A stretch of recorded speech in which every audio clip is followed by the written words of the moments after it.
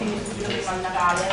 Visto che è passato un po' di tempo, facciamo un excursus veloce su quello che abbiamo visto e andiamo avanti a terminare. Ok? Quindi questa prima parte che vediamo l'avevamo già vista dalla Simone, quindi andate a riguardare gli appunti se manca qualcosa. Allora, cosa avevamo visto per chi non c'era, immagino da qua a novembre non avesse fatto questa parte. Allora, ha iniziato a parlare del discorso che ogni struttura in acciaio è composta da una serie di elementi ed è fondamentale il modo in cui noi andiamo a collegare questi elementi. Perché? Perché noi andiamo a comprare gli elementi in acciaio in dimensioni unificate e tutto quello che noi otteniamo come schema strutturale, come funzionamento statico, è legato al modo in cui noi andiamo a connettere questi elementi. Secondo normativa tecnica esistono diversi sistemi di collegamento, principalmente sono questi elencati qua sotto. I bulloni normali e i bulloni ad attrito che sono i più utilizzati per le strutture metalliche, le saldature e i chiodi che vengono citati ma non vengono più utilizzati in strutture nuove ma vengono citati perché li trovate in strutture esistenti, quindi quanti punti sono fatti magari chiodati in struttura metallica. Abbiamo visto, vado un po' rapida qui perché comunque abbiamo già visto questa parte, però magari facciamo un ripasso globale. Allora, abbiamo visto che abbiamo diverse tipologie di ioni, quelle correnti e quelle di forza. Quelle correnti sono quelle che noi utilizziamo per creare profili che non esistono. Quindi ad esempio ci serve una colonna o una trave che abbia un momento di inerzia molto elevato, ce la costruiamo proprio con i piatti e ce la facciamo produrre in quelle dimensioni. Le unioni di forza sono invece quelle che abbiamo tra i vari elementi strutturali. Vedete questa immagine che avete già visto col professor Bontempi per studiare le zone B e le zone BD. Le zone B di una struttura sono quelle di Bernoulli, diciamo, sono quelle in cui vale la teoria della trave di De San Venant così come l'avete studiata a scienza delle costruzioni dove quindi possiamo applicare tutte le formulazioni per il calcolo delle tensioni e delle progettazioni così come avete studiate.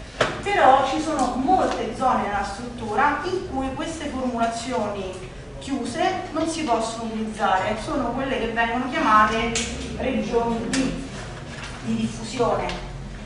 Le unioni fanno parte proprio di questa tipologia, quindi noi andremo a trovare delle equazioni che sono state ottenute ad esempio successivamente a una campagna di sperimentazione, quindi delle formule in cui a volte è anche difficile vedere il riscontro fisico, per esempio dei coefficienti moltiplicativi che vengono utilizzati. Questo perché? Perché non è possibile applicare le formulazioni chiuse, quindi sono stati fatti ad esempio molti esperimenti e sono stati ricavati a posteriori le formule. Per questa motivazione noi facciamo tutte delle ipotesi in partenza che ci dicono la piastra rigida, insomma facciamo tutta una serie di ipotesi alla base del calcolo. Queste ipotesi servono per fare in modo che le formule che poi applichiamo siano effettivamente veritiere, perché questi esperimenti sono stati fatti in un range di mh, tipologia di unione. Allora, noi come le classifichiamo le unioni? Le classifichiamo secondo il sistema di collegamento utilizzato, quindi fondamentalmente bullonate e saldate, quelle che progettiamo, o attraverso il tipo di sollecitazione che devono trasmettere, quindi abbiamo delle sollecitazioni eh, che trasmettono taglio quindi saranno delle cerniere, delle sollecitazioni che trasmettono sforzo normale e taglio e saranno sempre delle cerniere, oppure ci sono delle, eh, delle unioni che sono in grado di trasmettere anche il momento fettente e quindi funzioneranno se realizzate a terra come degli incastri, se realizzate in altre zone della struttura come vincoli di continuità. Allora, su questi ci andiamo dopo, perché tanto li vediamo nel dettaglio dopo, e vediamo un attimo le due grosse tipologie di unioni. Allora, sono le unioni bullonate e le unioni saldate. Vediamo le unioni bullonate, qual è il vantaggio? sono molto veloci da realizzare, si montano e si smontano facilmente. E poi possono, essere, possono anche permettere alla struttura una certa flessibilità, quindi possiamo estenderla, farla più piccola facilmente. Quali sono gli svantaggi? Che ovviamente dobbiamo realizzare dei fori. Questi fori andranno a indebolire le sezioni resistenti delle strutture.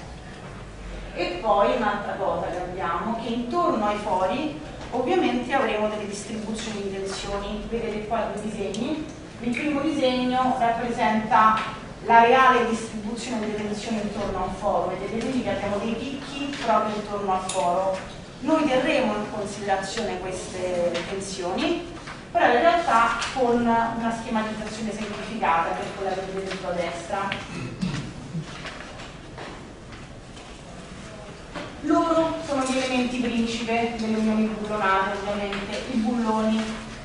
Allora, quali sono i dati che a noi servono per progettare un'unione del bullone? Fondamentalmente i due dati importanti è ovviamente il diametro e poi relativamente al diametro abbiamo due aree una è l'area nominale e una è l'area resistente l'area nominale è quella che andiamo a calcolare sulla sezione non indebolita dalla filettatura l'area resistente è quella che considera la sezione filettata alcune verifiche delle unioni bullonate prevedono di utilizzare l'area nominale e altre l'area resistente, quindi date un occhio di riguardo alla formula perché vedete che comunque la differenza è tanta tra i valori. Allora, queste sono eh, le resistenze dei vari bulloni. Allora, noi abbiamo per la classe della vite, cioè la parte solamente della vite, ha queste cinque classi, queste che vediamo nella prima colonna, 4 e 6, 5 e 6, 6 e 8, 8, 8 e 10 e 9. Che significano questi dati?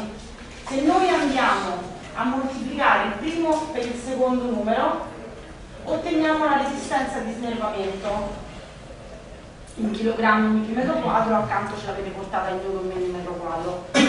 Se andiamo a moltiplicare il primo numero per cento, andiamo a ottenere la resistenza di rottura. Quindi la classe ci dà già delle indicazioni sulla resistenza di snervamento e sulla resistenza a rottura.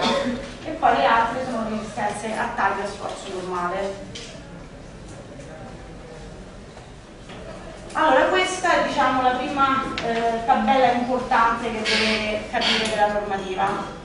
Abbiamo detto che appunto tutta la progettazione delle unioni è basata su sperimentazioni quindi noi dobbiamo entrare all'interno di un certo range per essere sicuri che la nostra unione possa essere progettata in questo modo e oltretutto non, per essere sicuri che non si verifichino determinati meccanismi di rottura. La prima cosa che ci impone la normativa quando progetto un'unione è che devo stare attento a dove faccio i fori. Allora questa è proprio l'immagine che volevate sulla normativa, la prima. Vi fa vedere una piastra e dei fogli e vi dice attenzione, se la freccia che voi vedete è l'azione agente, voi avete delle distanze minime da osservare nella direzione ortogonale alla forza e nella direzione parallela alla forza e questi sono i valori che ci dà la normativa di minimi e di massimi, quindi non possono neanche essere troppo lontani i bulloni. Torneremo su questo concetto dopo, intanto voi guardate, ricordatevi che ci sta una distanza minima e massima e come potete vedere nella direzione ortogonale possono essere anche più vicini i bulloni, nella direzione parallela possono essere più lontani. Memorizzate questa informazione e poi ci torniamo dopo. Allora, ora questo è importante. Come possono essere sollecitate le unioni e quindi i bulloni. Il bullone può essere sollecitato a taglio, il bullone può essere sollecitato a trazione, il bullone può essere sollecitato a trazione e taglio, il bullone non è mai, mai, mai sollecitato a momento, ok? Non mi dite che fate le verifiche a momento dei bulloni perché fanno accaponare la pelle allora, perché non è sollecitato a un momento? Perché un'unione bullonata trasmette momento, ma scomponendo il momento nelle sue risultanti. Quindi una, un momento sarà scomposto in una coppia e il bullone porterà gli elementi della coppia. Dopo vediamo degli esempi. Comunque questa è la cosa fondamentale sono bulloni a taglio o a trazione, punto. Dicevamo che appunto le formule della bullonatura sono basate su ehm, formule empiriche, quindi quali sono le ipotesi che noi facciamo per lo studio delle unioni? La prima è che supponiamo la lamiera infinitamente rigida, ovviamente è una schematizzazione, ma infinitamente rigida significa che tutti i miei bulloni si muovono insieme, hanno lo stesso comportamento, questo significa. Trascuriamo per l'appunto l'inflessione dei bulloni e poi trascuriamo le concentrazioni delle tensioni. Delle tensioni.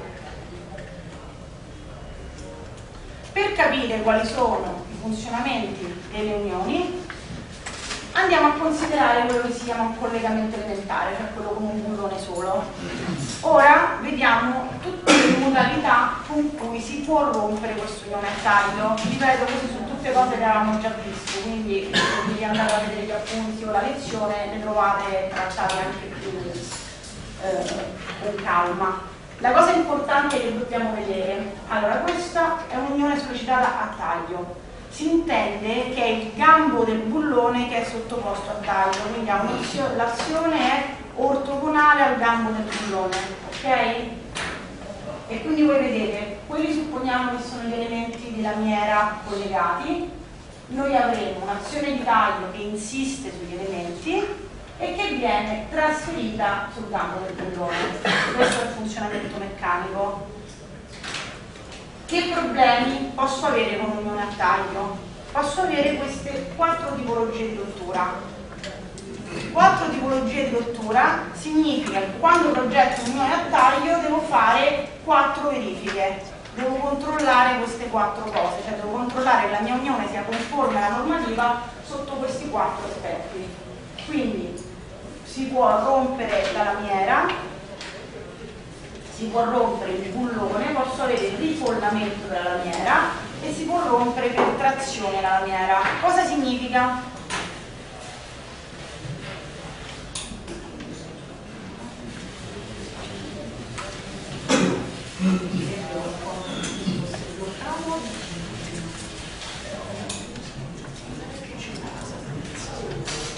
Allora, la prima modalità è lo strappo della lamiera lo vedete in questa immagine, è il problema che io ho quando ho realizzato il foro troppo vicino al bordo. E quindi si generano delle linee di tensione nella direzione che vedete nell'immagine e ho la rottura della lamiera. Le tensioni che mi provocano la rottura sono tensioni tangenziali spalmate sulla superficie di rottura, quindi vediamo una tau calcolata come l'azione F, che è quella sulla bulonatura, diviso quella superficie su cui va a spalmarsi l'azione. Qui manca eh, M, M è la proiezione del segmento DD' in orizzontale, questa è da qua a qua. E S ovviamente è lo spessore. Poi potrei avere problemi per il bullone, quindi si potrebbe rompere il bullone, la recisione del gambo. Anche in questo caso è un'azione tangenziale sulla sezione del bullone e quindi ho la forza diviso la sezione. Perché la forza è a metà? Perché se collego due elementi la mia forza si è già divisa a metà con la sezione. Poi posso avere un problema legato al fatto che il bullone ara nella lamiera, quindi vediamo un problema di rifollamento. Il problema di rifollamento è legato alle eh, concentrazioni di tensioni sul foro. E quindi vedete che abbiamo finché va tutto bene le tensioni sul foro sono in campo elastico, che è il primo diagramma diciamo triangolare pian piano se arriviamo al campo plastico abbiamo il secondo diagramma e noi andiamo a fare i calcoli considerando un valore medio di questo. Valore medio calcolato con la formula che vedete lì. Quindi dividiamo l'azione la per l'area del foro. Quindi questo D è del foro non è del bullone. E l'ultimo è la trazione. Quindi abbiamo scelto una lamiera troppo poco spessa fondamentalmente e quindi abbiamo queste concentrazioni di tensione che abbiamo visto prima sul bordo del foro che potrebbero andare a far spezzare la mia lamiera. Quindi questo è un problema di resistenza della sezione che viene sollecitata a trazione in questo modo, quindi la sezione resistente, se io vado a tagliare la mia lamiera, è quella che mi rimane da una parte e dall'altra. Quindi parliamo di una sigma in questo caso, perché abbiamo la lamiera tagliata a metà e vediamo l'azione ortogonale alla sezione. Quindi noi abbiamo visto la mia unione a taglio si può rompere in quattro modi, quando io la verifico faccio quattro verifiche. Questo è il concetto. Prima verifica che faccio, a strappo della lamiera. Bene, la normativa mi dice che se io ho usato quel disegno che abbiamo visto prima, quello con la piastra, e ho stabilito interassi e distanze usando quella lamiera e quelle dimensioni, la verifica strappo è automaticamente soddisfatta, cioè in parole povere il mio foro non è troppo vicino al bordo o non è troppo vicino a un altro foro, questo è in parole molto povere. Poi devo verificare che non si rompa il bullone, quindi che devo fare? Devo prendere la mia risultante e dividerla per l'area e devo calcolare che sia minore della resistenza al taglio del bullone.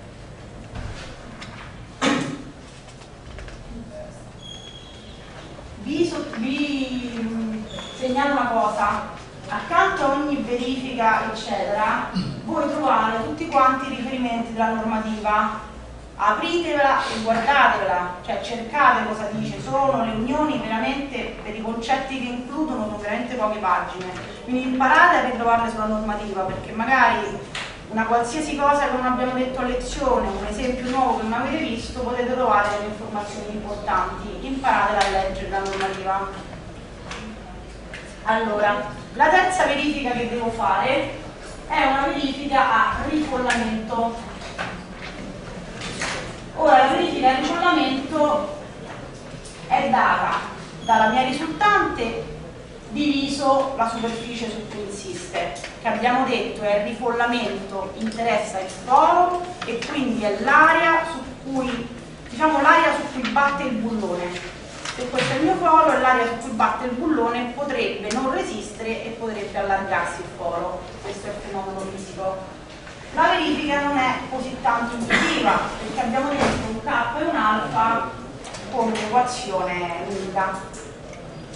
Questa purtroppo la studiamo appunto, se non ricordate K e alfa memoria ovviamente non vi interessa. Sappiate dove stanno le normative, sempre al 4-2 citato. Allora, eh, quello che però è importante di questa verifica, guardiamo insieme una cosa. Abbiamo un K e alfa, ok, abbiamo un gamma M2 che sarà un coefficiente dei materiali, eh, un coefficiente dell'unione che considera la verifica di collamento, abbiamo FTK. Questa verifica viene fatta con la resistenza alla rottura, ok? È una delle poche, quindi si suppone che il materiale superi lo snervamento. È una verifica in campo plastico quindi è una delle pochissime verifiche che trovate sull'acciaio che usa la resistenza a rottura invece della resistenza al snellamento quindi attenzione a questo discorso.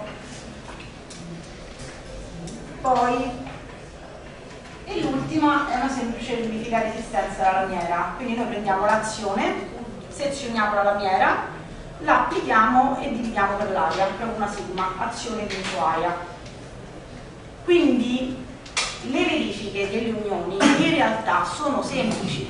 Quello che a voi porta a confusione spesso, perché quando si va a svolgere un'unione ci sono tanti passi, voi vi perdete tra i mille passi e in realtà la cosa cui su cui focalizzare, fondamentale, che rivediamo dopo quando vediamo gli elementi strutturali, io devo individuare chi sono gli elementi che devo collegare.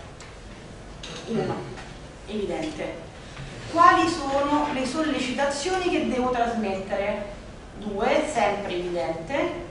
Meno evidente, come si trasmettono queste sollecitazioni negli elementi strutturali, ed è quello che vedete nella seconda parte della lezione.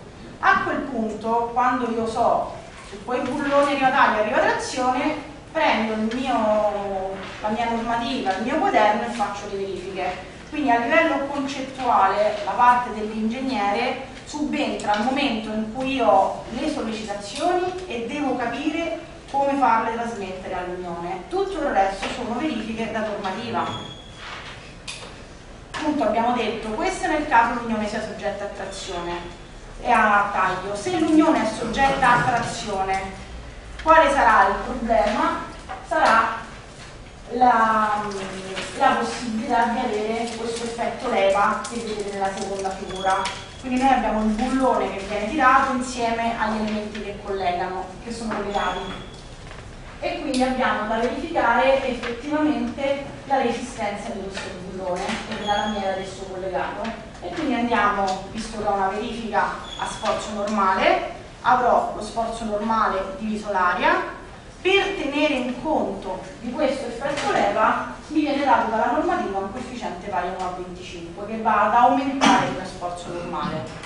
Quindi è una verifica sforzo normale modificata potremmo chiamarla non c'è altro da fare su un'attrazione nel caso di avessi uno stesso bullone che è ehm, sollecitato a trazione e a taglio nello stesso momento devo considerare l'interazione tra i due, tra i due come avete fatto per uh, pilastro di cemento armato? Dobbiamo costruire una sorta di dominio. Questo alla fine altro non è che un dominio, cioè dobbiamo controllare che l'interazione tra lo sforzo normale e lo sforzo dovuto alle azioni di taglio sia minore di 1. Chi sono questi elementi? Ricordiamoci che tutte le volte che c'è ED è qualcosa di progetto, quindi è legato alle azioni. Tutte le volte che nelle formule troviamo RD è qualcosa di resistente. Quindi noi per ogni tipo di sollecitazione FV, FV sopra e sotto, taglio, facciamo il rapporto tra il sollecitante e il resistente, sforzo normale, sollecitante e resistente. Questo è il discorso e sotto avete la formula normativa di come si calcolano i resistenti. Però è solo un rapporto tra i due. Adesso vediamo una parte un pochino più importante a livello concettuale perché le verifiche a memoria le studiate tutti. Poi quando dovete andare ad applicare effettivamente fare l'unione invece c'è un, un pochino di problemi. Allora noi abbiamo visto tutto riferito al bullone elementare ma ovviamente nelle unioni vere abbiamo più bulloni. Quello che è difficile capire come questo, per esempio questa è una piastra, uno sforzo di taglio per qualche motivo esterno alla piastra, come si distribuiscono queste unioni, queste sollecitazioni sulle varie unioni?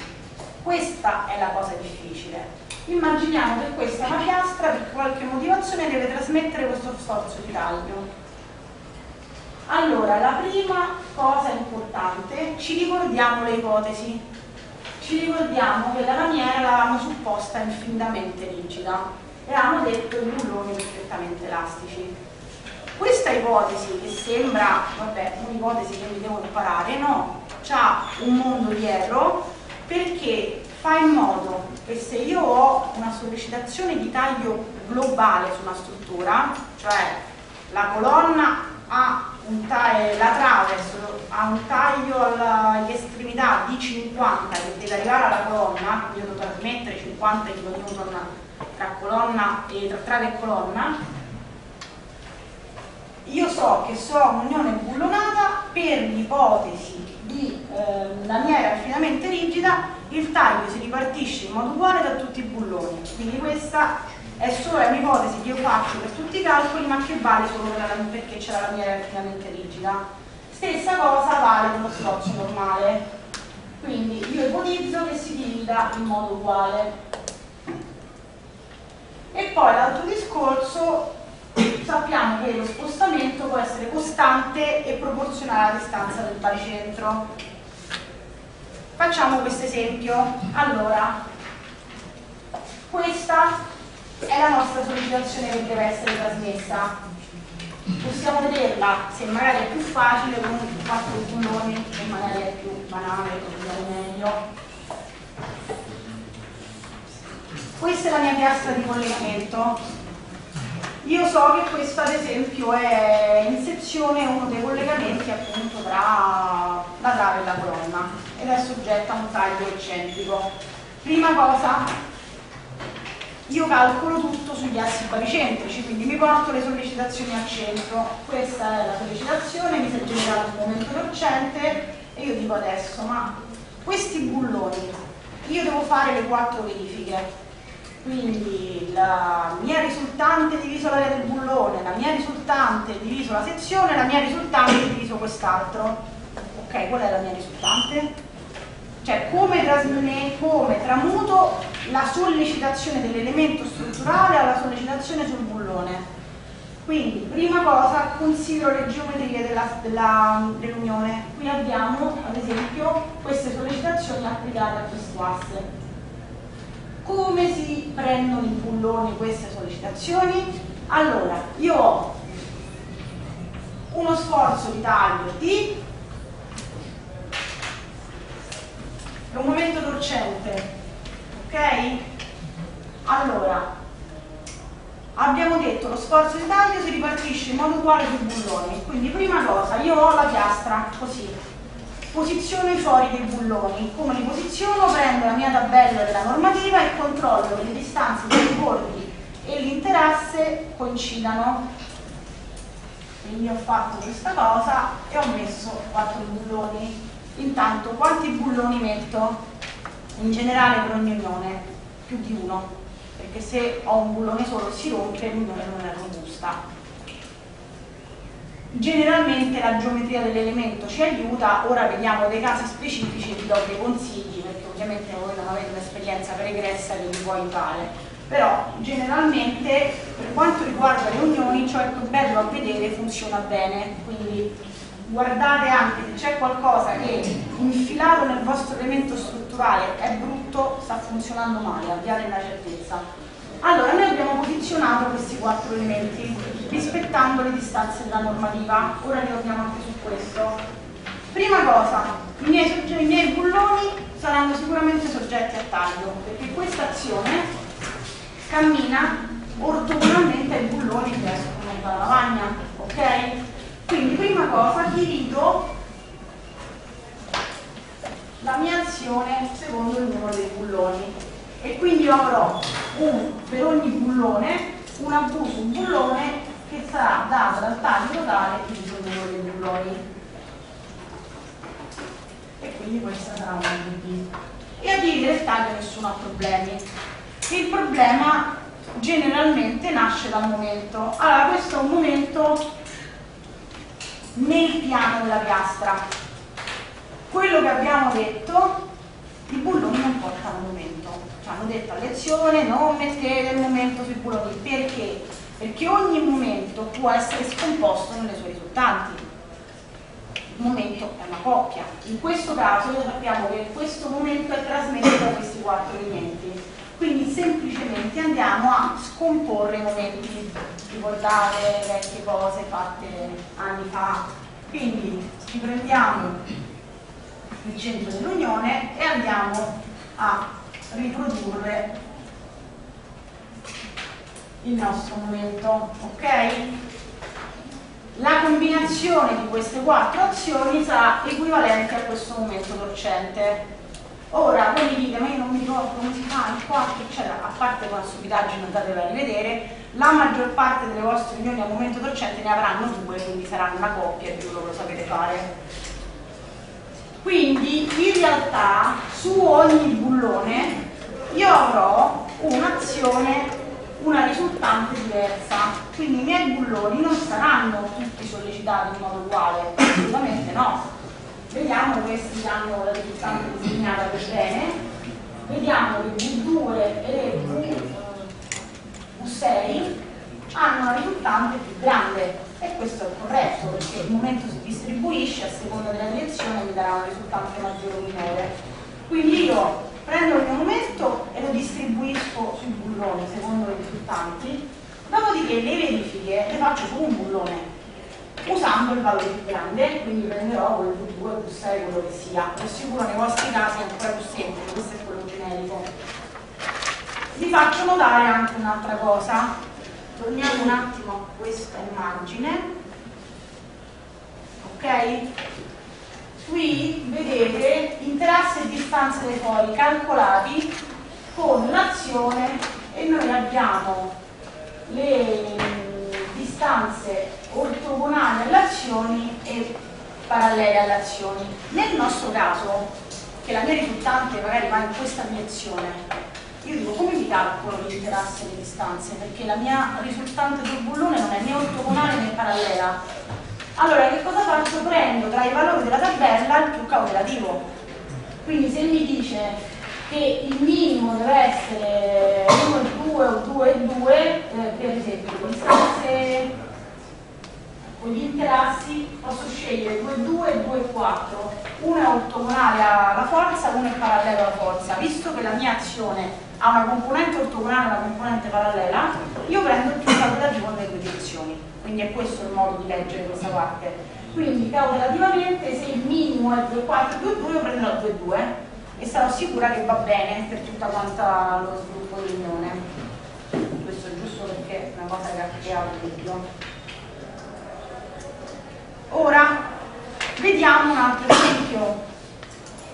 Quindi abbiamo visto se l'unione è sollecitata a taglio, quindi io trasmetto del taglio tra gli elementi, prima cosa, prima cosa dobbiamo considerare ehm, che si ripartisce in modo uguale tra i bulloni e dopodiché dobbiamo considerare che, ci, che la, il momento si ripartisce. Questo momento non è un momento che si trasmetteva nei due elementi strutturali, attenzione, è un momento dovuto al fatto, al fatto che l'asse centrale della bullonatura non coincide con l'asse centrale della trasmissione dello sforzo quindi a volte noi abbiamo dei momenti trasmessi dalla buonatura che sono dei momenti fittizi, sono dei momenti dovuti al fatto che non sono allineati i baricentri degli elementi solamente. Vediamo qual è il caso in cui i bulloni sono soggetti a trazione. Il caso principale è questo. Allora, questa unione è la cosiddetta unione flangiata, in cui cosa abbiamo? Abbiamo una piastra, su questa piastra è collegata alla trave e poi la piastra è collegata con l'altro elemento che può essere in questo caso un'altra piastra oppure può essere la colonna. Quindi in questa unione senza sapere niente di modellatura e tecniche delle costruzioni io mi immagino che il problema è il discorso che questi bulloni, questi elementi tendono a separarsi. Questa possiamo immaginare che sia la una trave perché vedete, da cosa lo dico io rispetto alla una trave? Vedo che ci sono più bulloni nella parte inferiore senza sapere niente, eh? questa non è tecnica di costruzione. Se io mi vedo un elemento con due bulloni sotto, mi immagino che quella sia la zona in cui tende ad aprirsi.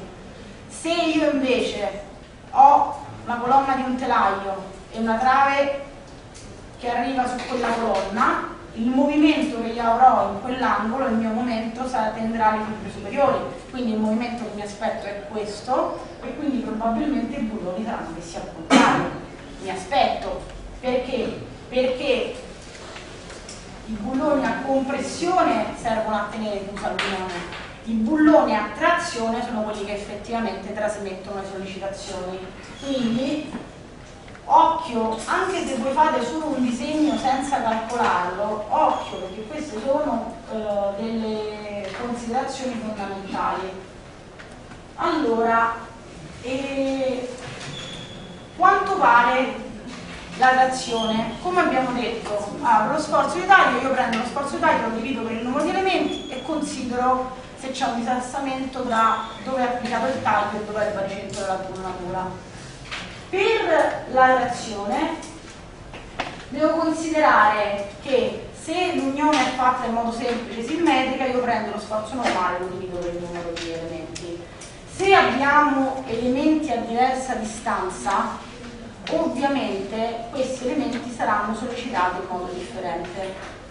Quindi ci sarà uno sforzo normale maggiore o minore a seconda della distanza dall'asse. E qui c'è una formula è questa semplicemente questa è la distanza dall'asse baricentrico e per ogni bullone devo andare a sommare la distanza di quel bullone dall'asse al quadrato. Poi ci stanno sulla parte degli esercizi svolti degli esempi numerici che si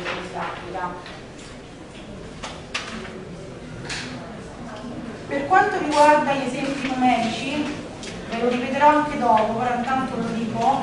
Allora la parte di unioni svolte stava su una parte del libro Carocci, quindi quello tecnico costruzione mi sembra si chiami, eh, che non è stato pubblicato. Quindi voi trovate sul testo il testo dell'esercizio, lo trovate sul volume, sotto trovate un computerino accanto, quel computerino significa che lo svolgimento dell'esercizio è su internet vi registrate al sito Carocci gratuito, vi scaricate lo svolgimento, quindi così funziona. Sta scritto nelle noticine all'inizio del libro, ma il 99% di voi lo legge. Quindi dove vedete un computerino esiste uno svolgimento online. Purtroppo impaginato tutto, però quello abbiamo, l'hanno impaginato tutto. E svolti con la normativa precedente perché sono stati fatti questi esercizi nel momento di transizione in cui c'è la norma del 2005. I procedimenti sono identici, cambiano solo i valori di resistenza che erano un pochino differenti, quindi le formule sono quelle, cambiano, se non vi ritrovate con i numeri sono un po' differenti dei valori, non vi preoccupate. Allora, eh, perfetto, vediamo questa parte qui sono andata un po' più rapida perché l'avevamo vista interamente, quindi abbiamo fatto un ripasso perché si parla di diversi mesi fa, io mi auguro che non abbiate pensato a me in questi Allora, invece, le unioni saltate.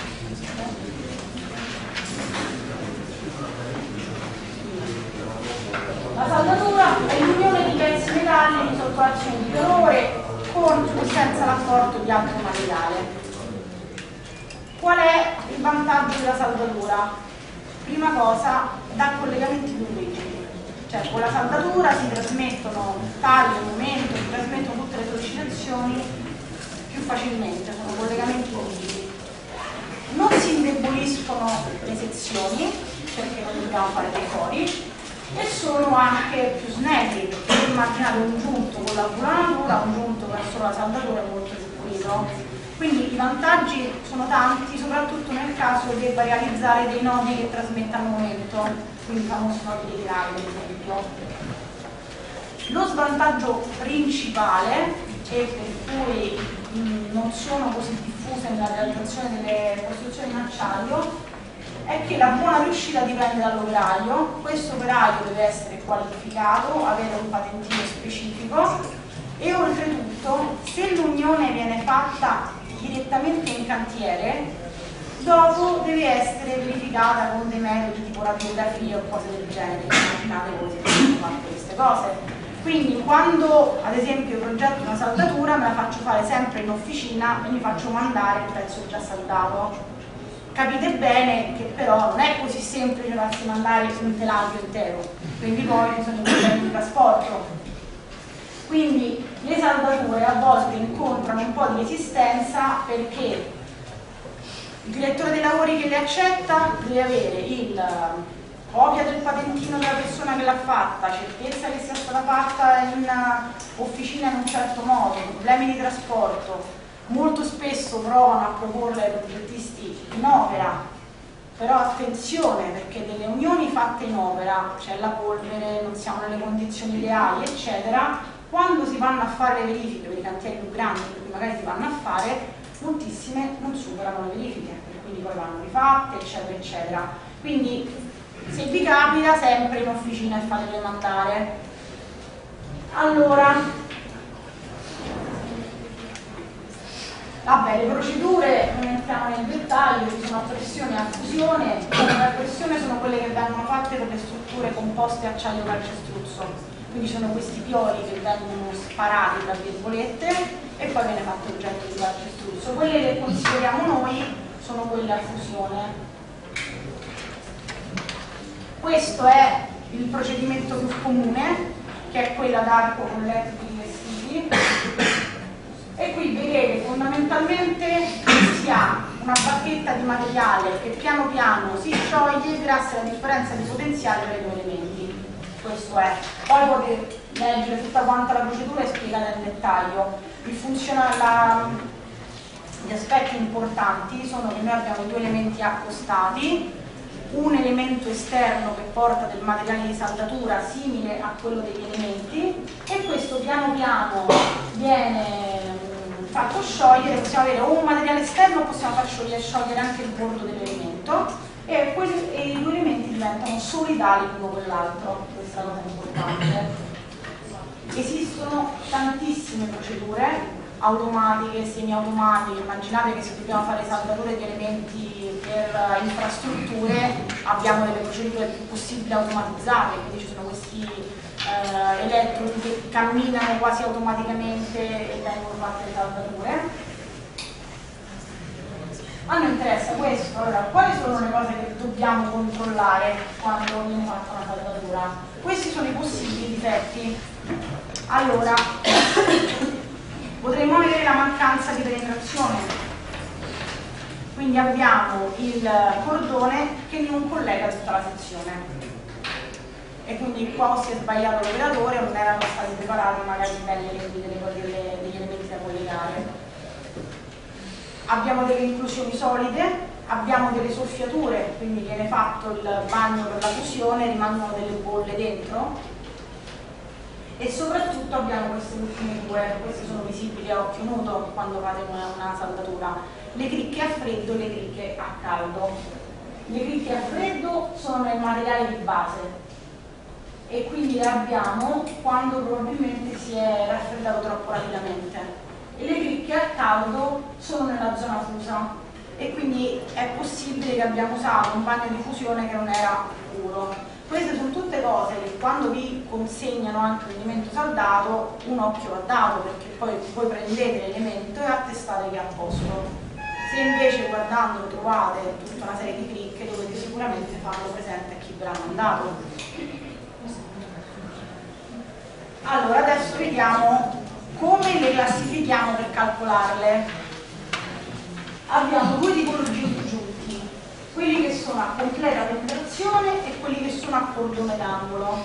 Si vede dal disegno la differenza. A completa penetrazione io smusso gli elementi e faccio il bagno di saldatura in mezzo, quindi fondamentalmente l'elemento è effettivamente un pezzo unico, diventa né giunti a cordone d'angolo, gli elementi sono accostati e io faccio dei cordoni di collegamento. Allora, quando io faccio un, faccio un giunto a completa penetrazione, mi fanno l'unione in officina, io gli dico quanto deve essere questo giunto, eccetera, e per me il pezzo dopo è un pezzo unito cioè non devo fare altre verifiche su cordoni eccetera se io ordino un profilo che non esisteva sul prontuario perché mi serve uno che ha la forma dell'HE alto 1004 voglio un profilo alto così come viene fatto molto spesso per i persone da ponte io ordino questo profilo gli smusso i pezzi e tutto quanto. Una volta che questo profilo arriva per me è una trave a doppio T con quel momento di inerzia con quel W eccetera. Quindi diventano pezzi monolitici e li verifico come pezzi monolitici, cioè non verifico l'anima, le ali, diventano un pezzo solo. Invece quelli tra gli elementi strutturali, quelli che calcoliamo noi per collegare gli elementi, sono giunti a cordone d'angolo e i pezzi infatti rimangono come sono, non vengono modellati.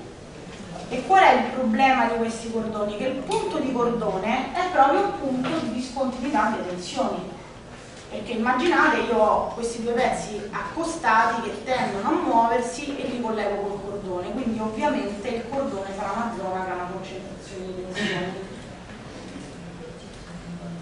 allora veniamo alla parte simpatica come si calcolano questi cordoni?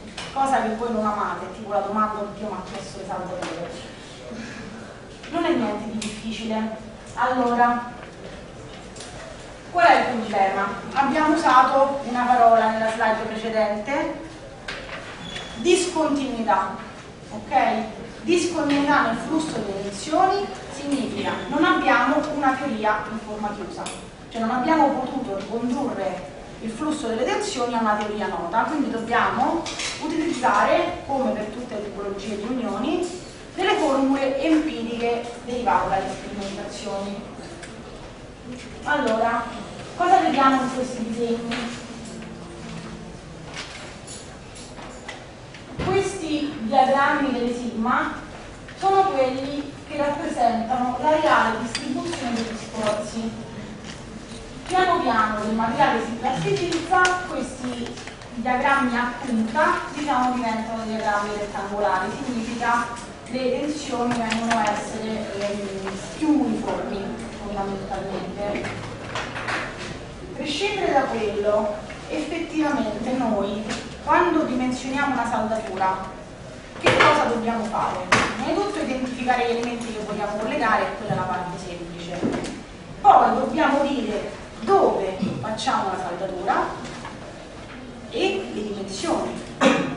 Le dimensioni della saldatura, che significa? Non parliamo solo di dimensioni di lunghezza, cioè se devo saldare questa lavagna, se voglio da qui a qui o da qui a qui. La cosa fondamentale delle unioni è dimensionare la cosiddetta altezza di gola. Cos'è l'altezza di gola? Guardiamo questo disegno lo rifaccio qui così ragioniamo su questo punto.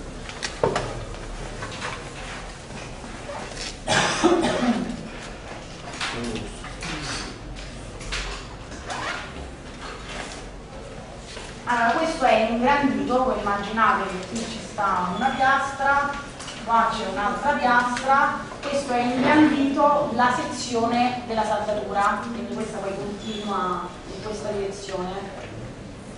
Allora, quando noi abbiamo una saldatura, quale che sia la sua forma, la parte resistente la andiamo a individuare in questo modo. Quindi prendiamo il triangolo, allora se questa è, eh, sono le stesse lettere, A1 e A1, andiamo a prendere un triangolo con gli stessi lati. Quindi andiamo a tagliare questo e andiamo a considerare l'altezza. Questa indicata con A è la cosiddetta altezza di gola ed è, rappresenta la sezione resistente della mia saldatura. Quindi è come se noi abbiamo una saldatura con questa, questa forma, immaginate la tridimensionale.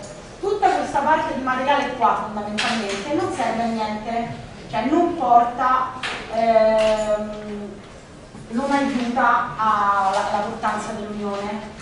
Questo è importante anche per il fatto che se ci stanno facendo un'unione così, per farci contenti, a noi non interessa, perché? Perché abbiamo detto il triangolo equilatero, quindi qua io tiro e la mia sezione di gola, anche se a me mi hanno messo tutto quel materiale in più, rimane questa quindi attenzione, se per farci contenti vediamo che si sta in lunghezza, non serve a niente, l'importante è la stessa dimensione in altezza e in larghezza. Allora, questa altezza di gola va a individuare la sezione resistente, quindi noi immaginiamo quindi il vero cordone visto tridimensionalmente avrebbe una pancia qua sopra, diciamo Vediamo questa parte che non è resistente, analizziamo la parte resistenza del cordone e noi diciamo che la sezione su cui agiscono le tensioni è la sezione di gola. Questa è indicata qua, ok? La sezione di gola come faccio a individuarla? È la sezione che io trovo considerando un triangolo con i lati uguali, tiro e considero l'altezza geometricamente. Allora, su questa sezione di gola, che sollecitazioni si possono trasmettere? Tutte, perché la mia saldatura abbiamo detto che è proprio quella che funziona bene quando ho per esempio i rigidi, quindi ho trasmissione di taglio momento. Quindi sulla mia sezione di gola arriveranno tensioni di tutti i tipi. In particolare queste sono quelle che andiamo a considerare. Allora, una tensione ortogonale alla sezione di gola, questa, chiamata sigma ortogonale. E poi abbiamo delle tensioni tangenziali, una in questa direzione e una nell'altra direzione, quindi una lungo la lunghezza del cordone e una lungo l'altezza che si chiamano tau parallela e tau perpendicolare ok? Queste sono quelle che noi ci dobbiamo ricordare quindi dobbiamo immaginare che la mia sezione può essere sollecitata in questi tre modi. Può essere soggetta a sforzo normale ortogonale o a sforzi tangenziali che agiscono nelle due direzioni in questa e in questa. Secondo la direzione in cui agiscono tau parallela tau ortogonale queste le che devo ricordare. Ora, capite bene che se io mi devo fare il calcolo del cordone la sezione inclinata, non diventa più un calcolo ingegneristico semplice, diventa una questione di geometria descrittiva. Quindi quello che è stato fatto è stato detto, ok, per fare le calcolazioni potremmo considerare la sezione di gola ribaltata su due lati e quindi io prendo questa sezione, la ribalto su uno dei lati. Su uno dei lati significa che visto che è una convenzione che utilizzo per fare i calcoli, la posso uh, ribaltare sul lato che mi è più comodo per fare il calcolo, quindi la posso ribaltare di qua, ma la posso ribaltare anche di qua. Ok? Quando io studio le tensioni sulla sezione ribaltata, sono sempre le stesse tipologie di tensioni. Noi ne abbiamo una ortogonale alla sezione, parallela, in questa, eh, parallela lungo la lunghezza, tangenziale ortogonale alla lunghezza. Sono le stesse tre tipologie di tensioni che cambiano nome. Quindi abbiamo per uh, diversificarle le chiamiamo con, non con la lettera greca, quindi abbiamo n ortogonale, t ortogonale e t parallelo. Questo per capire la notazione. Quindi il discorso è, io ripercorriamo il uh, percorso logico, io ho eh, elementi da collegare in maniera rigida, lo faccio tramite una saldatura una saldatura, eh, in questi casi è una saldatura con cordone. Il cordone collega i due elementi, io devo dare alla persona che mi farà questa saldatura delle dimensioni, che sono la lunghezza del cordone, ma soprattutto l'altezza di gola del cordone. Cosa identifica l'altezza di gola del cordone? È un numero che mi dice quanto è grande la sezione resistente della saldatura. Quindi è fondamentalmente rappresentativa della dimensione della saldatura che effettivamente resiste, ok? Ora tutto questo sembrava tanto semplice. Che cos'è questo disegno? Allora, il problema qual era? Dico va bene, benissimo, tu mi dici l'altezza di gola e tutto quanto, ma effettivamente io come lo faccio il calcolo per sapere se quell'altezza di gola che ho scelto va bene allora fondamentalmente hanno cominciato a fare una serie di prove e hanno costruito i domini di resistenza dei cordoni di saldatura ok? quindi che cosa vedete in questo disegno? proviamo a vedere la costruzione insieme che cosa vede intanto gli assi è una proiezione piana ovviamente ha una terza dimensione in cui ci stanno sigma ortogonale e tau parallelo ok? quindi questi sono quelli di partenza. Se noi consideriamo la sezione di coda sigma ortogonale e sigma parallelo sono storti tra virgolette, quindi se noi mettiamo gli assi ortogonali giriamo la sezione di gola e questo triangolo girato è la sezione rappresenta questo triangolo, ok?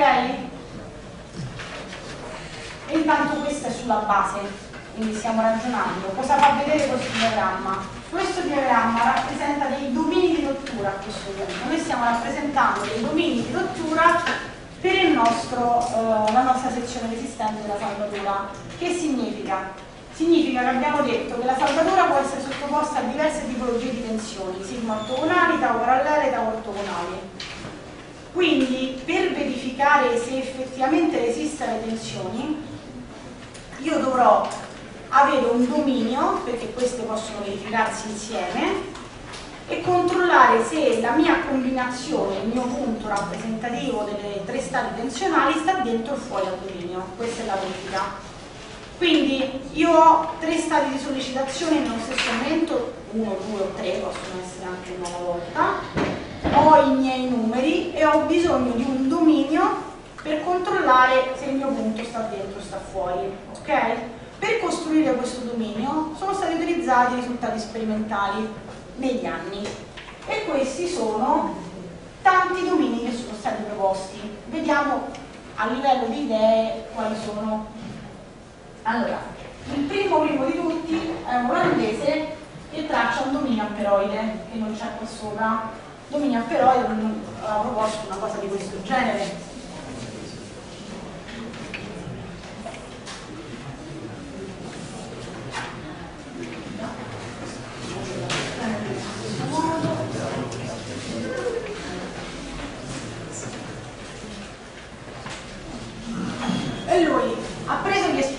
hanno rotto una serie di saldature e hanno visto che il dominio resistente aveva una forma di questo tipo.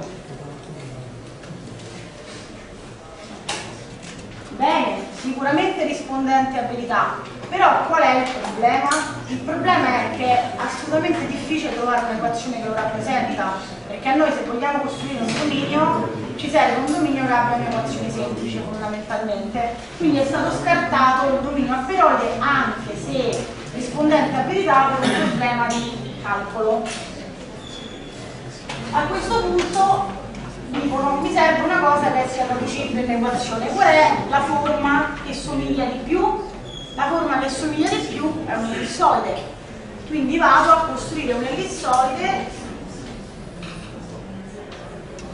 faccio un discorso del genere e dico mi perdo queste zone in cui la sezione sarebbe verificata però effettivamente posso andare a avere un'equazione, quindi posso andare a mettere come lì dentro, inverto l'equazione e trovo il valore. Una ellissoide, quella grande che vedete più alta, è l'ellissoide ISO.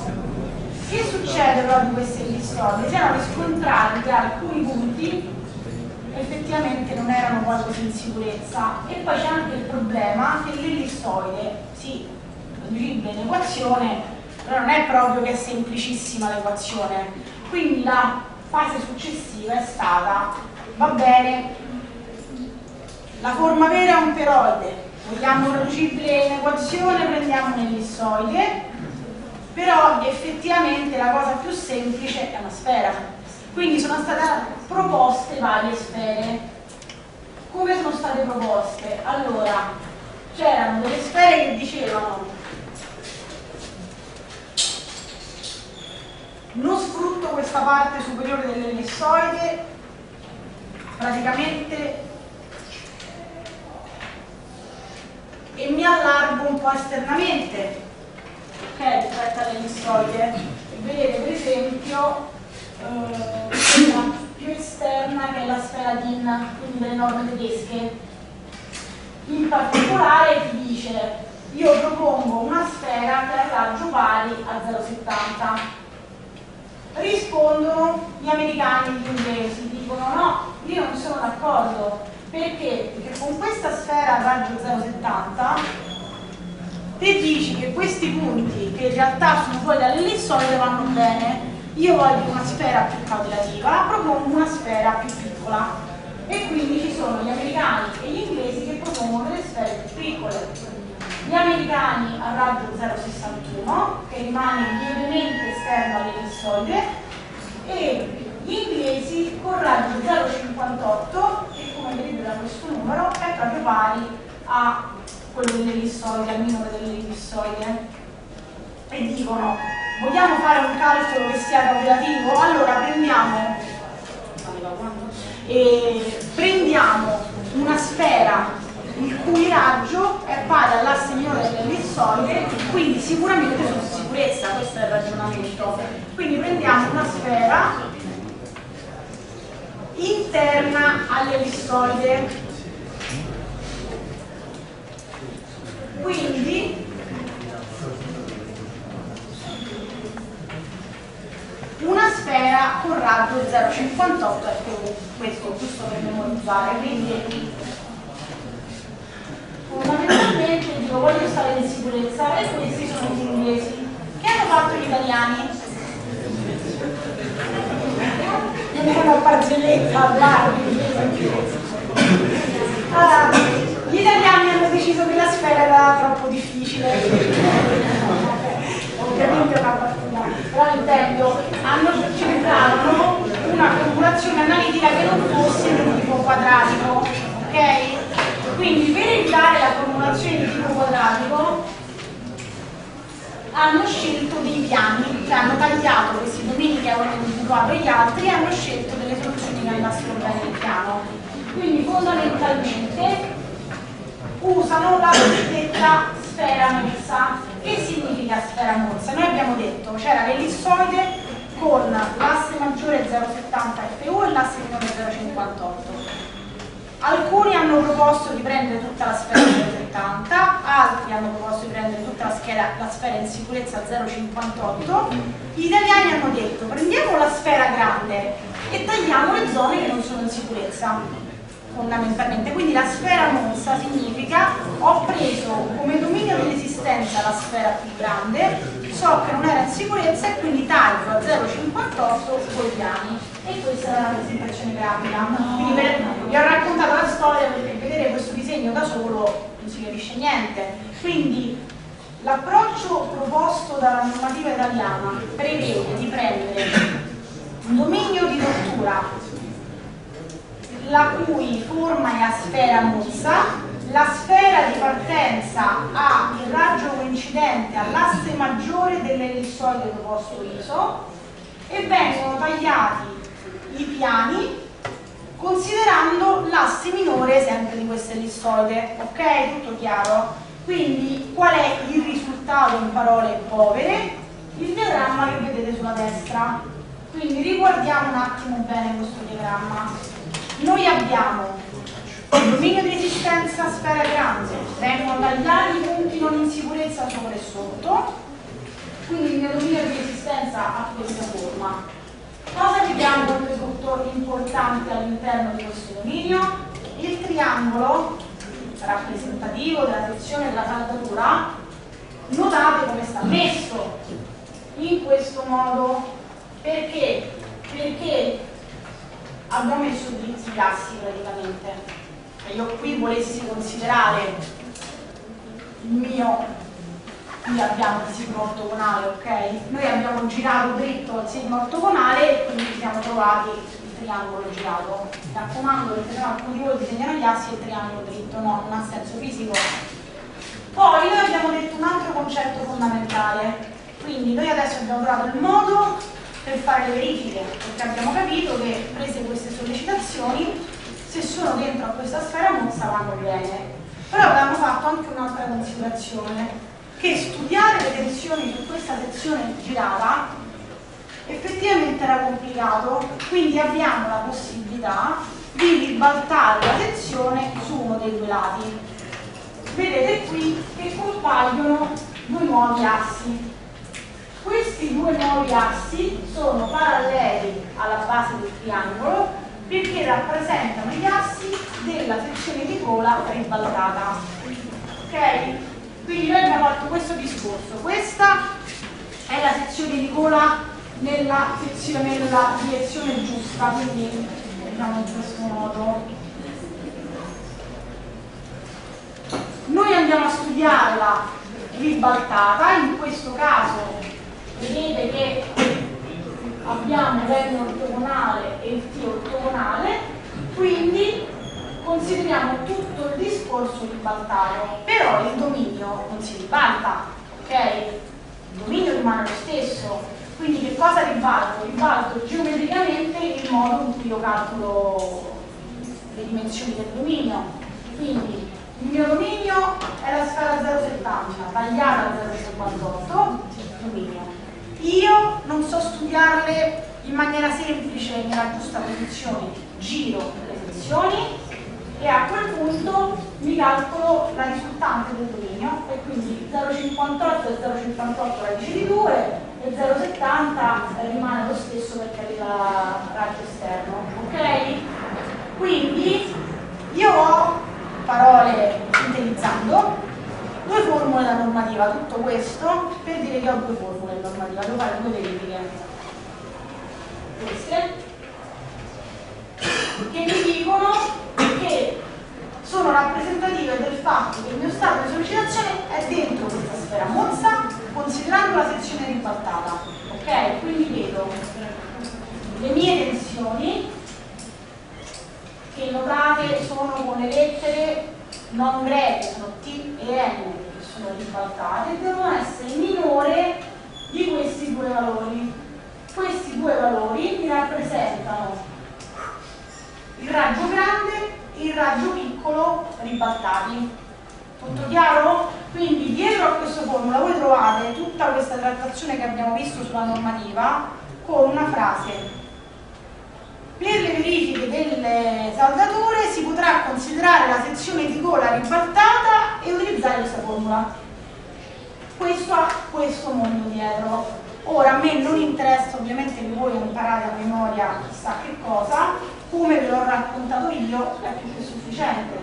Quindi noi arriviamo alla sfera mozza, partiamo da un peroide ottenuto con le sperimentazioni, vogliamo una cosa traducibile in equazione che diventa un'ellistoide, l'ellistoide ha una quadratica, preferiamo una sfera, vengono proposte diverse sfere, le, gli italiani prendono la sfera più grande e mozzano i lati considerando la sfera più piccola, in maniera purissima sezione vera abbiamo problemi a fare verifiche, ribaltiamo, ok?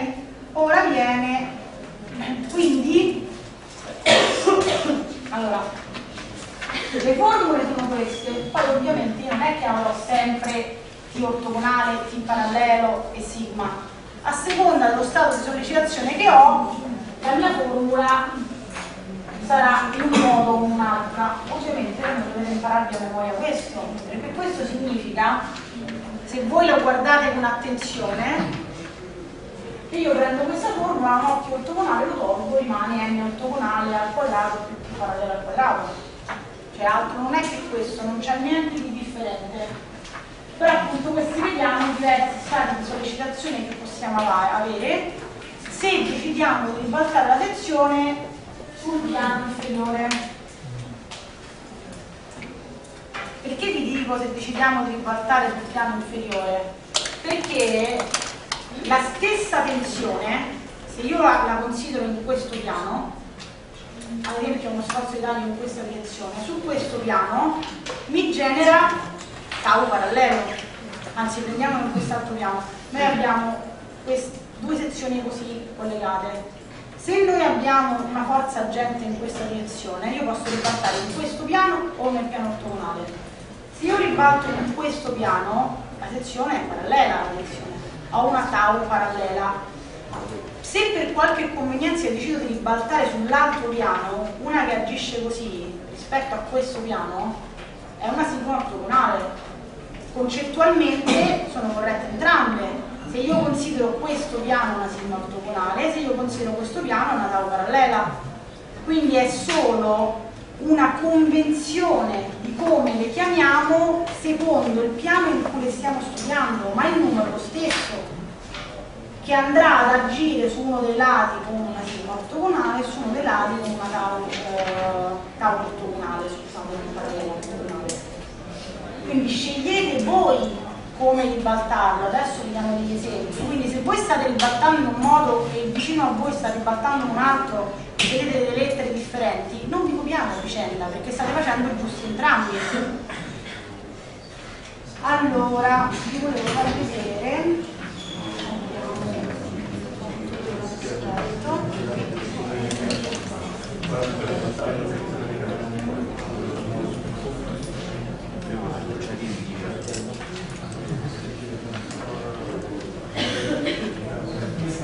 Allora, questi esempi li potete guardare pure con calma, ci sono sul libro tutto quanto. Quello che vi voglio, questi sono disegni presi dal libro, quello che io vi voglio focalizzare in realtà non è tanto F diviso L per H come calcoliamo. La cosa importante quando voi dovete andare a progettare una saldatura è capire chi si prende la sollecitazione e quali sono le tensioni a cui è soggetta la saldatura. Quindi cosa intendo con questo?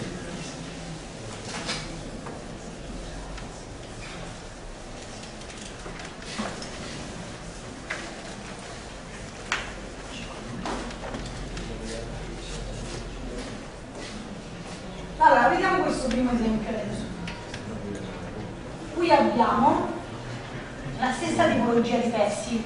Sono tre pezzi, due sopra, uno al centro e una volta ho scelto di mettere il cordone laterale, una volta ho scelto di mettere il cordone frontale. Scelte entrambe lecite. Ovviamente è diverso il modo in cui saranno soggetti, cui saranno soggetti i cordoni. Allora, se io considero questo primo caso, ho una forza di taglio e due cordoni messi nella direzione della forza di taglio. Quindi le tensioni che si andranno a generare saranno ovviamente parallele all'azione e saranno delle tau parallele. Se noi vediamo dall'alto questo pezzo,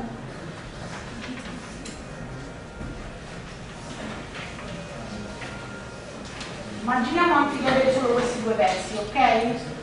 Ed abbiamo ad esempio, consideriamo che sono solamente due,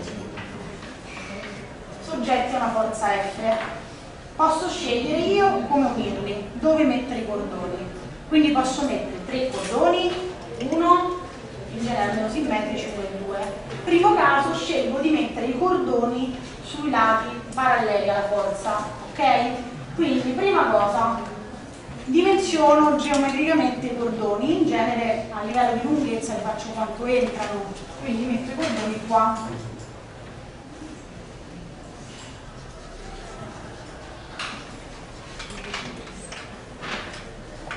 Quindi avrò una cosiddetta L del cordone.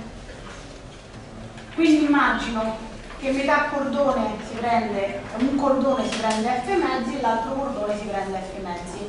Equilibrio poi devo andare a fare le verifiche e a calcolarmi l'area eh, del cordone quindi devo andare a capire effettivamente quanto vale eh, queste tensioni sollecitanti allora io posso scegliere di fare due cose. Posso scegliere di la mia sezione resistente sarà messa così è la lavagna in questo modo posso scegliere su quale piano ribaltare la mia sezione. Per studiarlo è una convenzione, scelgo io, ribadisco. Posso scegliere di ribaltare sul piano della lavagna o sul piano di questo elemento ortogonale alla lavagna.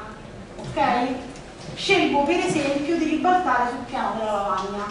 Se io ribalto sul piano della lavagna, questa forza che si distribuisce su questo cordone sarà sullo stesso piano del cordone, quindi sarà una tau, sarà in direzione del cordone, quindi sarà una tau parallela. Chiaro? Bloccatemi se non è chiaro, è meglio ora che vi blocco io poi. Allora, quindi la prima cosa che devo capire è il tipo di sollecitazione. Allora, vi segnalo che trovate, anche se la sezione di gola è ribaltata, molto spesso indicato con le lettere greche semplicemente perché nei vari passaggi tra una normativa e l'altra si è presa l'abitudine di chiamare con la lettera greca anche la sezione di quella ribaltata, quindi se lo trovate non siete voi che non avete capito, ci sta un po' di confusione in mezzo alle normative. Io posso, guarda, usiamo la lettera che abbiamo usato finora così non vi crea problemi, chiamiamola T perché stiamo considerando quella ribaltata.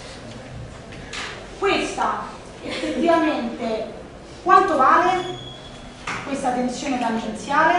La tensione tangenziale varrà quanto lo sforzo di taglio spalmato sull'area. Quindi se io considero un cordone, avrò F mezzi, perché ogni cordone si prende F mezzi, quanto sarà l'area? L'area sarà base dell'altezza, quindi la lunghezza del cordone per l'altezza di gola. ok? Mi sembra abbastanza semplice. Ora, io so che questa tau parallela deve essere minore di 0,85 FYD aspetta scusate sono andato dietro scrivo qua quindi dicevamo abbiamo tau parallelo che è dato dall'azione F mezzi spalmata sull'area che è L per A e so che deve essere minore di 0,85 FYD. Dove esce questo 0,85? Vedete che io ho 0,7 per un coefficiente beta, la moltiplicazione di 2 fa 0,85.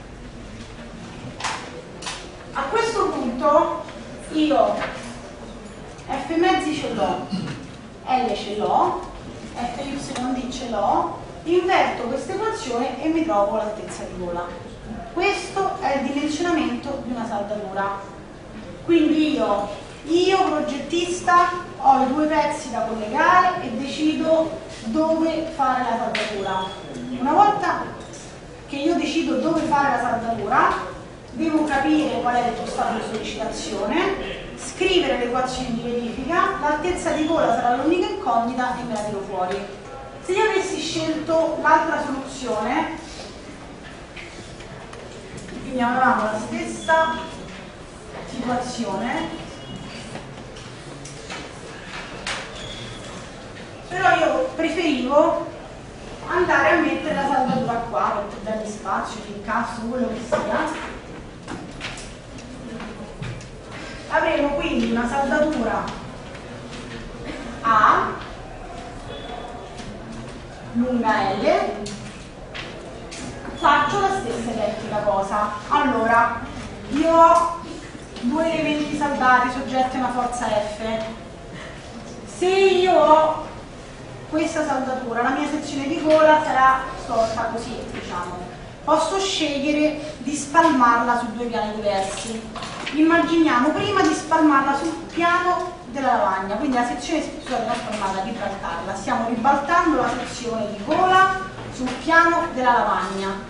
Se io ribalto sul piano della lavagna, un'azione in questo senso mi genererà una, una, uno stato di tensione sulla lavagna tau ortogonale, ortogonale al cordone, ok? Questa tau ortogonale, come me la calcolerò? Sarà sempre data dalla forza diviso l'area. Ok? Quindi avrò l'azione diviso L per A. Attenzione, anche questa dovrà rispettarmi le mie disequazioni e sarà, dovrà essere minore di 0,85 di ribalto l'equazione e mi prendo A. Se io invece per qualche motivo avevo deciso di ribaltare la sezione su questo piano, che cosa avrei avuto? Una forza che agisce in questa direzione su questo piano mi provoca una tensione fuori dalla sezione picola ribaltata e quindi avrei avuto una sigma ortogonale, la stessa, identica cosa, solo che se io la studio in una, in una sezione si spalma sul cordone. Se ribalto la sezione dall'altra parte, agisce ortogonale, è una convenzione, ok? Quindi avrei avuto una sigma ortogonale, scusate, chiamiamole, scusate, T e N, così vi sono ritrovate, non T ortogonale e N ortogonale, quindi questo è il piano della lavagna. Questo è se considero il piano ortogonale, avrò avuto una n, questa n sarà data dall'azione spalmata sulla sezione e quindi l'avrei calcolata allo stesso identico modo. Ok? Quindi sarà andata dall'azione spalmata L per A. Anche questa minore di 0,85 YD, magicamente usciva lo stesso identico valore di altezza di gola. Quindi fondamentalmente, a prescindere da tutti i numeri che vedete qui che vi possono dare confusione, quando anche all'orale vi viene chiesta una saldatura, perché è difficile che facciate una saldatura non scritto, quello che noi vogliamo vedere che voi avete capito, ma o vi siete chiesto che cos'è la sfera mozza, e poi un momento di esistenza appunto, poi come ci si è arrivati, tutto quanto. Quello che noi vogliamo vedere che voi avete capito e che quello che poi effettivamente vi serve è che identificato uno stato di sollecitazione dobbiamo disporre dei cordoni di saldatura ad hoc e quindi che siano in grado di contrastare quello stato di sollecitazione. Secondo, come faccio a calcolare l'altezza di gola del saluto del cordone? Considero quali sono le sollecitazioni su quel cordone ribaltando la sezione o sul piano del foglio o sul piano ortogonale e valutando le tensioni. Questi erano due casi semplici. Se vi guardate, qua abbiamo riportato per esempio dei casi un pochino più complicati però invece di eh, diciamo ammazzarvi a capire ora vediamo qua se capite al volo su quale piano è stata ribaltata la sezione di gola allora qui abbiamo una situazione un po' più complicata perché abbiamo gli elementi ortogonali quindi quella forza F in punto a un elemento andrà ovviamente a provocare un momento quindi noi avremo in questo caso un'unione saldata soggetta a flessione. Ma alla fine quando è soggetta a flessione, voi che formula utilizzate per le gravi? Trovate una sigma che è data da m fatto per doppio. Niente di differente. Qui che cosa andate a fare? La stessa identica cosa, trovate una sigma che è m fratto per doppio, dove il, um, il doppio di una sezione rettangolare è quello e quindi avete due stati di sollecitazione in che senso avete due stati di sollecitazione? che voi avete questo cordone che sarà sottoposto a due stati di sollecitazione allora che facciamo? abbiamo la F la portiamo alla base dei cordoni si dividerà tra due cordoni e che tipo di sollecitazione mi darà se io considero la sezione dell'elemento dietro. Se io considero la sezione dell'elemento dietro, la mia forza di taglio si dividerà e mi darà una tau parallela. Ok?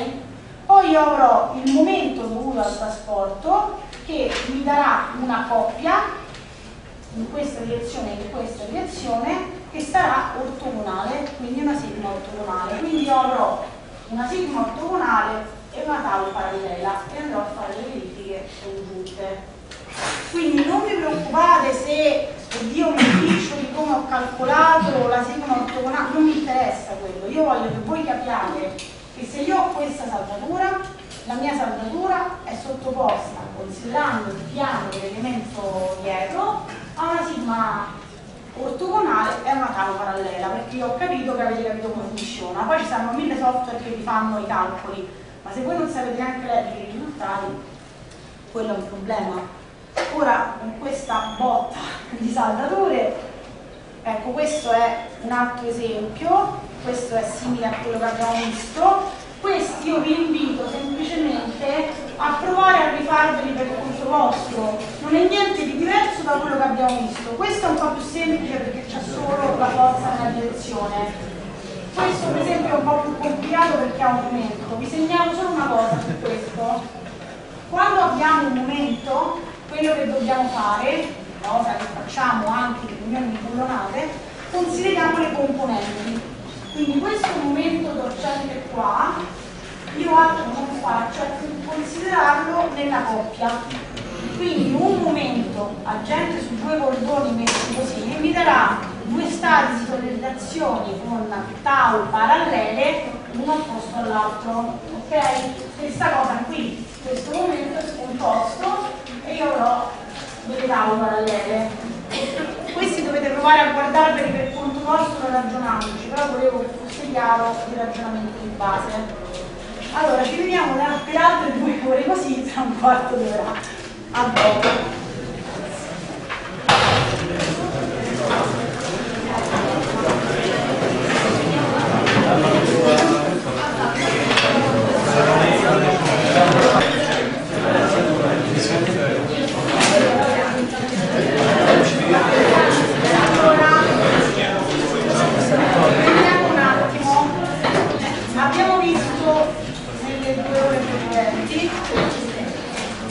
modalità con cui possiamo organizzare riunioni, abbiamo messo bullonatore e salvatore, a naso abbiamo che la bullonatore è quella che viene fatta in opera, che bullo la trasmette il taglio, quindi mentalmente lo colleghiamo a strutture tutti pendolari, cominciamo a fare queste applicazioni, abbiamo visto che la saldatura riesce a fare dei rigidi, quindi la colleghiamo a quelle situazioni in cui ho bisogno di il momento. Adesso vediamo, abbiamo capito come si dimensiona, quindi dobbiamo prendere le sollecitazioni, andare a capire come si distribuiscono sugli elementi, bulloni o saldature che siano, e poi ho delle verifiche da normativa.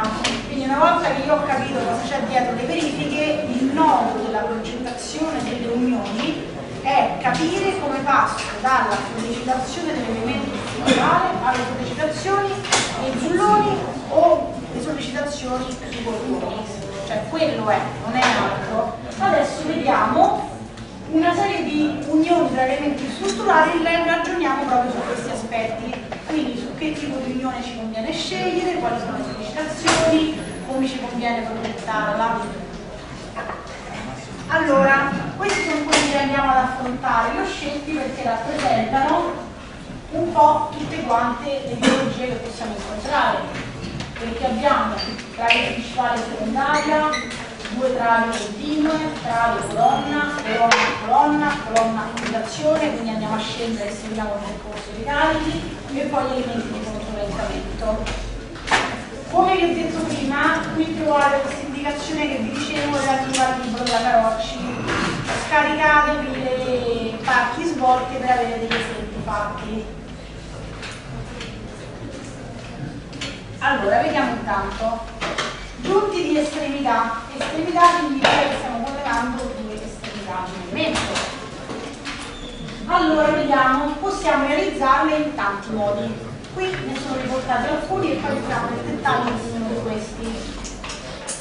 Abbiamo sopra, in alto a sinistra, un punto tutto saldato. Senza sapere niente abbiamo sentito le saldature, abbiamo capito che se è saldato è ripristinato completamente resistenza pressionale tagliante, perché abbiamo capito che la saldatura ha la capacità di trasmettere tutte quante le sollecitazioni. Qui abbiamo giunto trame principale della seconda con moncherini drogati e bullonatura. Questo che significa? Quando io faccio un'unione così complicata? Ora ci rientriamo nel dettaglio, però facciamo una pratica. Voi immaginate che ho bisogno di unire questi due elementi saldati. Abbiamo detto che le saldature si fanno prevalentemente in officina. Io che faccio? Mi trasporto tutta una trave e l'altra trave unita? No, quindi mi sono saldata la trave e i pezzettini che mi servono. Poi in un punto in cui il momento è più basso mi vado a unire gli altri pezzi di trave, così il punto in cui eh, l'unione è difficoltosa e mi serve una trasmissione di momenti molto elevata, lo sono fatto saldato. Poi mi sono portata il pezzo con i moncherini e in sito attacco i moncherini. Per questo trovate spesso le unioni, chiamiamole con i moncherini. Oppure quello che viene fatto spesso, questo di qua è un punto bundonato col coprigiunto quindi vediamo una trave principale, due travi secondarie che arrivano e un coprigiunto superiore. Quell'altro che vedete accanto, il giunto flangiato flangiato vuol dire che abbiamo inserito una piastra, una flangia in testa alle travi e poi colleghiamo la flangia. Quindi la trave sulla flangia è saldata e la flangia è bullonata. E poi un classico, quello che troviamo più spesso, il giunto bullonato Ora entriamo nel dettaglio di ognuno di questi, però per capire questi elementi sono tutte unioni tra il principale e la secondaria, funzionano in modo completamente diverso. Quindi a seconda di quella che io scelgo avrò uno schema statico differente e una trasmissione di licenzioni differente. Quindi è importante che io progettista sappia scegliere un'unione conforme al vincolo che ho assegnato perché se ad esempio io ho studiato, ho fatto tutti i miei calcoli studiando una struttura a retti pendolari, poi faccio il particolare costruttivo dell'unione e metto quella sopra.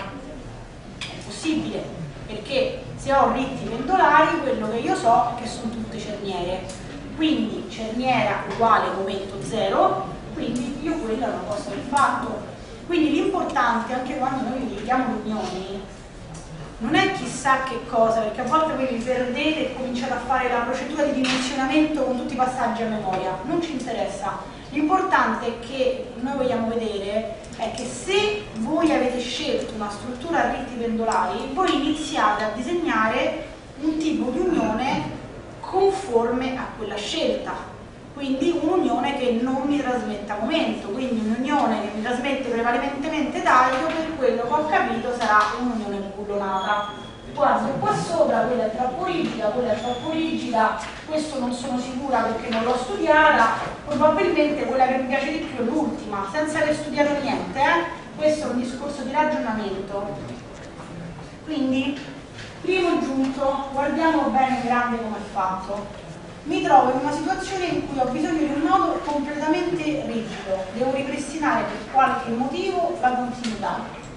Dove ho fatto le saldature? Ho fatto le saldature sull'anima, sul bordo qui, quindi se lo vedessimo nell'altra direzione ci sarebbe tutto il bordo del cordone sotto la trave, stessa cosa sopra.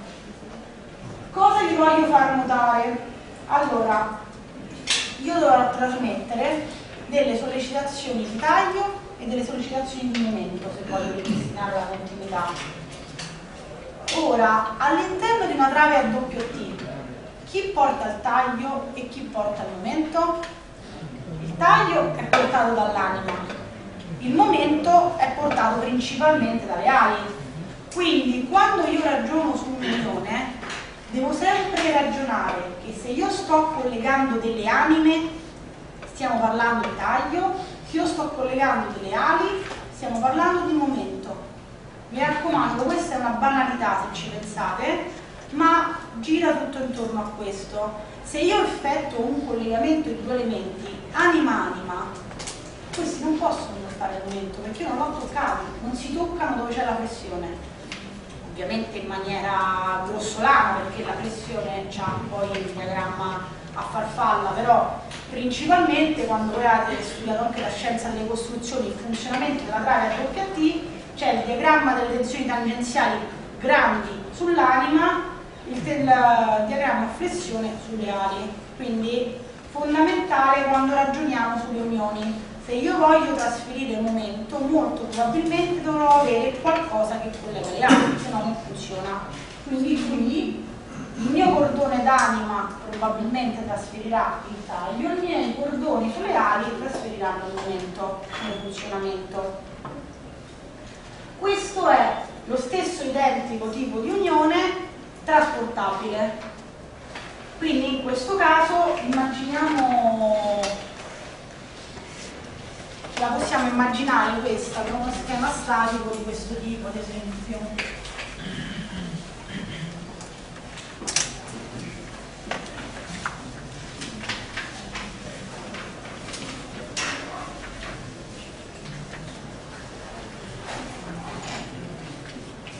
Immaginiamo che in quella zona si abbia un diagramma di momenti che fa una cosa del genere. Poi magari continua qui e continua qua. Noi l'unione, quella saldata, ce l'abbiamo per esempio in corrispondenza di questa zona. Cioè qui abbiamo la nostra trave che arriva nell'altra direzione e poi abbiamo le due travi che arrivano qua.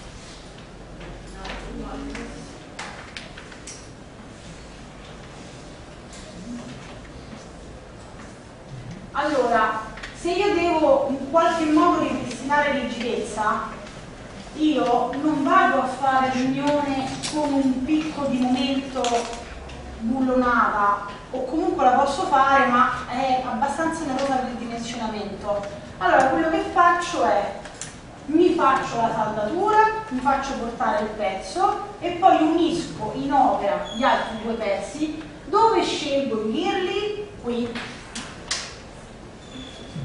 A una distanza tale in cui la sollecitazione di momento è o zero o minima perché poi ci saranno le varie combinazioni di carico quindi non sarà zero.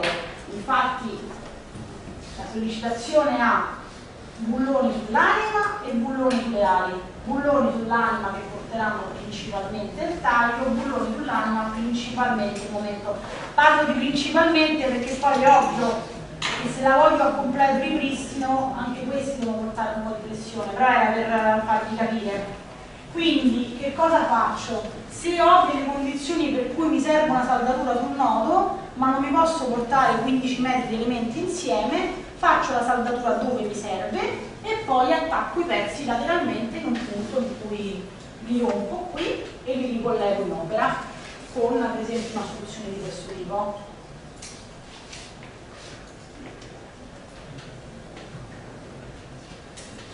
Questo stessa cosa se devo andare a pulire i pezzi e, ma non voglio fare la saldatura quindi no no la saldatura no lascia stare. Torniamo un attimo su questa voglio farvi ragionare su una cosa noi abbiamo detto che questi elementi laterali allora, la saldatura è facile facile tra virgolette prendo il momento scompongo gli assi e dimensioni i vari cordoni per quanto riguarda questi elementi laterali come ragiono? A cosa saranno sollecitate queste unioni laterali?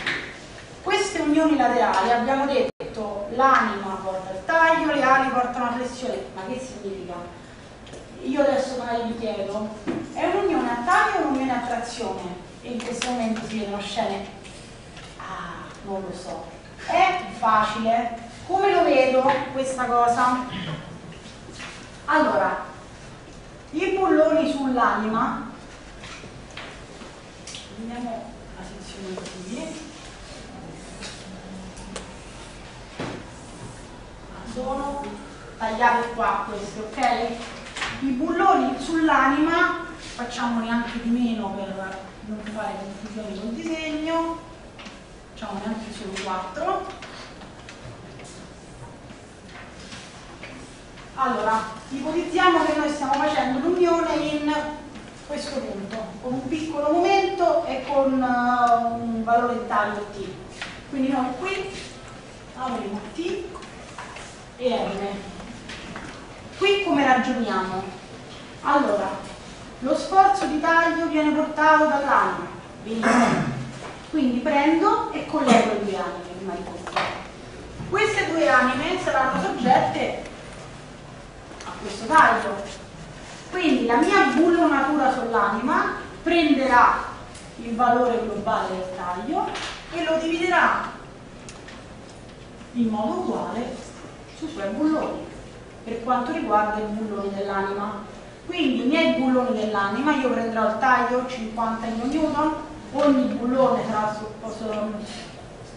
sollecitato a 50 diviso 4, benissimo, Predimensiono il bullone, scelgo un bullone, mi inverto la formula e trovo l'area del bullone, quello che vi pare, decido io cosa fissare e cosa dimensionare. Mi calcolo le distanze e dopodiché so che il bullone a taglio si rompe in quattro modi. Verifica strappo, verifica trazione, verifica regolamento, verifica questo.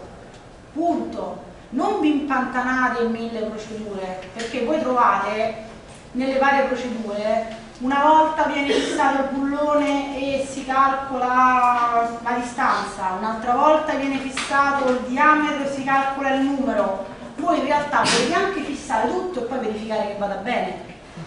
Quindi adesso decido che voglio lavorare con quattro bulloni e provo con i bulloni di un milione che ho fatto a casa, che era 18 e vengono bene, e provo a vedere se vanno bene. La cosa importante è che voi capiate che questi quattro bulloni si stanno, stanno trasmettendo il taglio per rudimenti.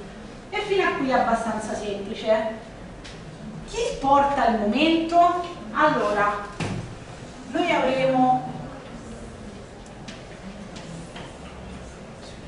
un diagramma di questo tipo, ok? Quindi il momento, la parte più grande delle tensioni dovute al momento saranno portate dalle ali in via approssimativa iniziale per capire cosa stiamo facendo, noi capiamo che in qualche modo devono essere collegate le ali. Quindi prima cosa che possiamo fare, se non usiamo la saldatura, copriamo le ali. Quindi copri giunto, sopra, copri giunto sotto. Ok? Poi ci hanno detto questo deve trasmettere il momento, ma che i bulloni non sono sollecitati al momento. Quindi scomponiamo questo momento nelle sue componenti. Dove le applichiamo? Le applichiamo sulle ali. Quindi noi avremo un momento, in questo caso tende le fibre inferiori, quindi sarà un momento che ruota così, quindi avrà una risultante qua e una risultante qua, ok? Quindi lo sforzo di taglio si divide dai bulloni, il momento viene portato principalmente dai coprigiunti, quindi io andrò a mettere questi coprigiunti ovviamente bullonati, quindi qua ad esempio un bullone, un altro bullone, un bullone, un altro bullone,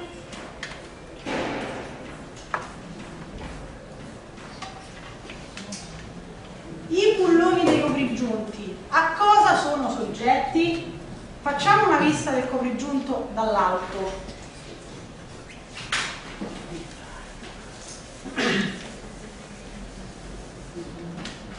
Noi vediamo il coprigiunto dall'alto, questo è l'asse della trave, l'anima, questa è la mezzeria, abbiamo due bulloni qui, due qui e ovviamente dall'altra parte uguale. Ok, questa è la piastra che sta sopra, quindi noi in sezione vediamo quattro bulloni, sarebbe la vista da questa parte. Scusate se insisto, ma molti di voi non sanno disegnare, non so per quale motivazione, ma non sapete disegnare. Infatti il mio suggerimento, le unioni invece di perdere ore e ore a fare mille passaggi di calcolo, provate prima di tutto a disegnarle tutte e a capire come funzionano, poi mi ci mettete i numeri dentro. Se non capite come funzionano non le potete mai calcolare. Allora, quindi, questa è geometricamente la mia unione. La mia azione qual è? Questa, che agisce così. A cosa sono sollecitati questi bulloni? A taglio.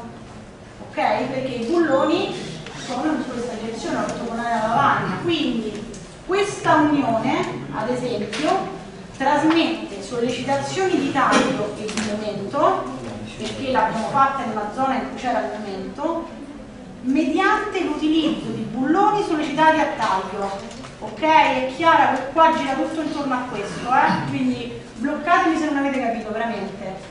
Allora, io considero le sollecitazioni di partenza, le scompongo e mi rendo conto che per portare il momento, se considero la coppia risultante, questa darà una sollecitazione di taglio sui miei bulloni, perché questa agisce ortogonalmente al cambio dei bulloni. Poi ci sono delle formule che trovate sulla dispensa che vi dicono se questa la volete a completo ripristino, cioè che porta tutto il taglio e tutto il momento, ricordiamoci che c'è tutta questa parte di diagramma fondamentalmente che vi devono portare questi. Quindi ci sono delle formule che ti fanno calcolare la resistenza dei bulloni anche per portare questa pressione. Però a prescindere dalle formule il discorso fondamentale è che se io voglio un'unione che mi ripristina il momento, devo aver collegato varie anime. Primo. Secondo, i bulloni dell'anima è facile che sono soggetti a taglio, i bulloni delle ali sono soggetti a taglio anch'essi perché si scompone il momento. Poi avrò una quota parte di momento aggiuntivo portato dall'anima per garantire il completo ripristino, se no è parziale ripristino. Ma se non vi ricordate la formula per considerare che i bulloni dell'anima portano un po' di momento, non mi interessa. A me interessa che voi abbiate collegato sopra e sotto e sappiate come si trasmettono le citazioni. Bisogna dilungare un po' perché poi funzionano molto in maniera simile anche le altre. Allora, ecco qua, ritorniamo con un discorso simile. Se noi ragioniamo su quello che ci siamo detti, quest'unione, allora, vedo un collegamento sull'anima e quindi trasmette taglio, vedo un coprigiunto e quindi trasmette momento. Vi faccio notare una finezza. Il coprigiunto è bullonato a una parte di trave e all'altra parte di trave, quindi trasmette il momento tra questo elemento e questo elemento quello al centro, la rave, che potrebbe essere anche una colonna messa nell'altro senso, non si prende momento, ok? Perché quella rave, quella centrale, è collegata solo all'anima, poi ha un coprigiunto sopra che mi garantisce il collegamento tra le due spezzoni. Per questa situazione lo stato di sollecitazione sarà assolutamente analogo a quello. Sforzo di taglio ripartito tra i bulloni, momento ripartito sulle ali che mi sollecita a taglio i bulloni superiori. Io qui mi immagino una situazione in cui dove stanno le fibre tese? Guardando questo, sopra. Stanno sopra perché il coprigiunto è sopra, tende, tra virgolette, a aprirsi, ora scusate il termine, sotto tenderebbe a schiacciare la trave e sono stati messi questi spessori che cercano di evitare il danneggiamento dell'anima della trave. Quindi io guardando questa dovrei sapere già qual è il diagramma dei momenti. Mi aspetto fibre tese superiori, mi aspetto un diagramma del momento e mi aspetto un diagramma del taglio. Quindi io guardando l'unione posso capire lo stato di sollecitazione. Quindi quando uno vi chiede come immaginate l'unione, questo è il discorso mi immagino che collego gli elementi strutturali e disegnate l'elemento strutturale. Mi immagino di collegare l'anima al tasto di taglio, mi immagino di collegare il momento. Dato che le fibre, eh, le fibre tese sono superiori, avrò eh, probabilmente la piastra superiormente. Questo giunto flangiato. Allora, cosa leggiamo qua sotto? trasmette l'azione tagliante e un momento frettente che dipende dal dimensionamento di cambia dei bulloni. Cosa c'è dietro questa affermazione? Allora, vediamo collegamento sull'anima, trasmette taglio, siamo sicuri. Poi vediamo però una cosa, vediamo due bulloni che sono molto più lontani di quanto sono i bulloni nelle unioni bullonate. Quindi questi bulloni così lontani in realtà sono in grado di generare una coppia. Anche questi sono in grado, con una coppia talmente piccola che non ci facciamo niente in questo senso. Se io effettivamente considero un'unione in cui ho una coppia di bulloni abbastanza lontana, effettivamente posso pensare che mi riesco a portare una parte di questa risultante. Perché quella che dicevamo si porta l'anima. Se io ho due bulloni che mi prendono una coppia e quindi sono sottoposti a trazione me lo posso calcolare quindi questa frase dice l'azione tagliante perché ho collegato l'anima Momento che tende che dipende dalla dimensione di flange e bulloni significa che se io ho fatto una flangia che va da sopra a sotto e ho messo esagerare e ho messo un bullone praticamente sotto l'ala, un altro bullone sotto l'ala, quei bulloni effettivamente hanno un braccio talmente grande che mi trasmette una buona quota parte di movimento pettente. Quindi quando c'è un'unione flangiata, nella nostra mente compare il concetto di trasmissione del momento, perché in un'unione flangiata, cioè con una piastra, i bulloni stanno molto più lontani, stando lontani hanno un braccio, vengono sottoposti a trazione e compressione e quindi possono portare un momento, in modo con la trazione e la compressione. Questo è l'unione principe che tutti studiate perché è la prima che c'è sugli esempi, quindi di buona volontà avete gli esempi e vi cominciate a mettere a fare questa che va bene, però come dicevo prima non focalizzatevi su mille passaggi da imparare anche perché nessuno vi chiederà mai a memoria i passaggi, proprio l'ultima cosa che ci interessa. Focalizziamo su come funziona. Allora, quando noi facciamo una struttura a retti pendolari o anche non a retti pendolari, noi cosa facciamo? Calcolo del solaio, sempre.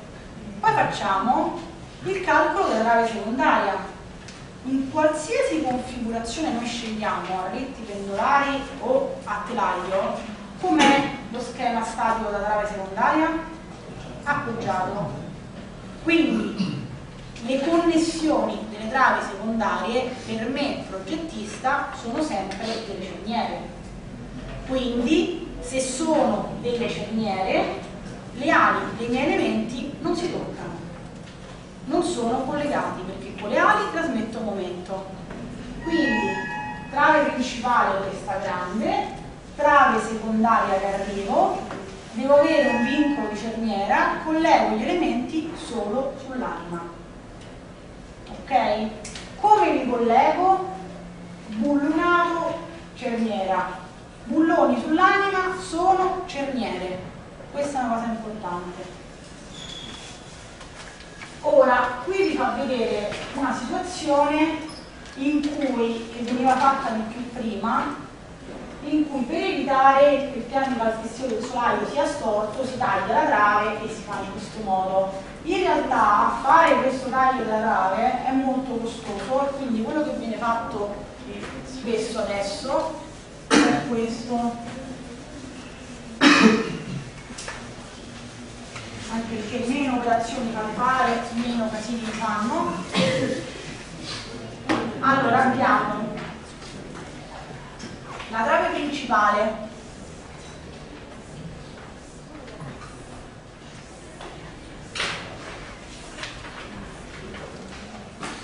poi abbiamo la trave secondaria ovviamente per fare questo tipo di unione la trave secondaria deve essere piccola della trave principale ma quello è generalmente vero perché generalmente tendiamo a fare tessiture del solaio che prevedono le secondarie più piccole delle principali, più corte in genere.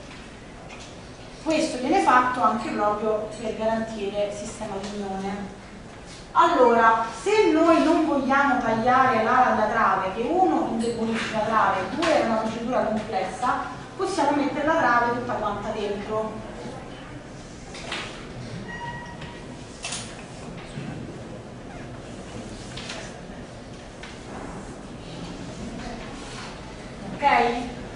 E l'aggiustaggio fondamentalmente lo facciamo col solaio. Quindi qui ci mettiamo la parte piana della lamiera e poi lo facciamo in questo modo, così anche dall'altra parte. Ok? E poi sopra ci sta tutto il getto del solaio. In questo modo il piano del solaio rimane piano, sistemare la lamiera in questo modo è più semplice di andare a tagliare la trave quindi quello che io vi suggerisco per le unioni che fate anche voi al compito, senza andare a dilagare non taglio la trave, non taglio la trave, vi suggerisco di scegliere una soluzione di questo tipo perché è la più semplice. Come ragiono quindi? Allora, io ho ehm, le sollecitazioni che provengono dalla trave secondaria. quelle che noi chiamavamo RTS nei nostri esercizi, ok?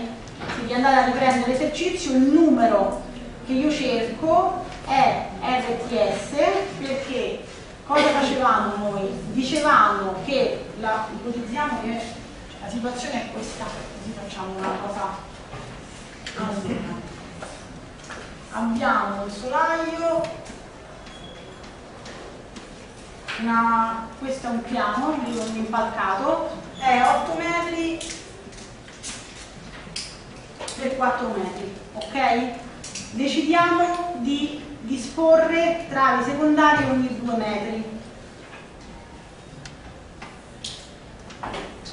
Quindi qui abbiamo 2 metri visto che i fogli di lamiera aggregata sono in genere per questioni di trasporto di massimo 6 metri io mi aspetto di avere due schemi statici di questo tipo. Quindi due travi appoggiate da 4 metri da, scusate, sì, travi appoggiate da 4 metri con campate di 2 metri, ok? Quindi faccio la mia risoluzione e mi viene la reazione alla base del solaio. La relazione che mi viene generalmente sulla parte della reazione centrale del solaio la applico sulla mia trave secondaria 4 metri trave secondaria e mi viene una reazione alla trave secondaria questa reazione alla trave secondaria la applico sulla trave principale ok? ora vi sto ripetendo delle banalità ma colleghiamo i due procedimenti qui abbiamo quindi una trave principale di 8 metri nel nostro caso avremo quali reazioni? Questa, questa e questa quindi una reazione ogni 2 metri ok? Quanto varranno queste reazioni? Saranno proprio l'appoggio, il valore all'appoggio della trave secondaria, quindi varranno RTS. Ribadiamo una cosa che tanto ci torniamo dopo. Non consideriamo le reazioni all'appoggio perché? Perché in questo punto e in questo punto la trave secondaria non sarà attaccata alla trave principale fisicamente, ma sarà attaccata alla colonna, dopo vediamo anche come, quindi ragionate su questa cosa e poi ci torniamo. Quindi noi la trave principale la progettiamo così, quindi questo è lo schema statico scelto. Come lo tradutiamo in un'unione? Quindi noi abbiamo che questo RTS deve diventare questo. L'unione deve dire questa cosa. Quindi stiamo trasmettendo taglio tra questi due elementi. Trave secondaria che scarica su trave principale, quindi semplicemente io avrò questa configurazione più semplice di quella che taglia e utilizzerò delle squadrette che sono degli elementi ad L in questo modo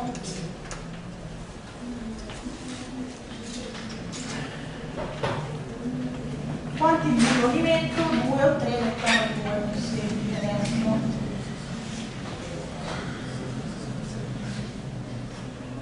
Allora, a cosa saranno soggetti questi elementi? Allora, noi immaginiamo che lo sforzo di taglio sia applicato nel baricentro degli elementi, quindi qui ma in realtà il punto in cui si trasmettono le sollecitazioni questo è proprio la burronatura ok?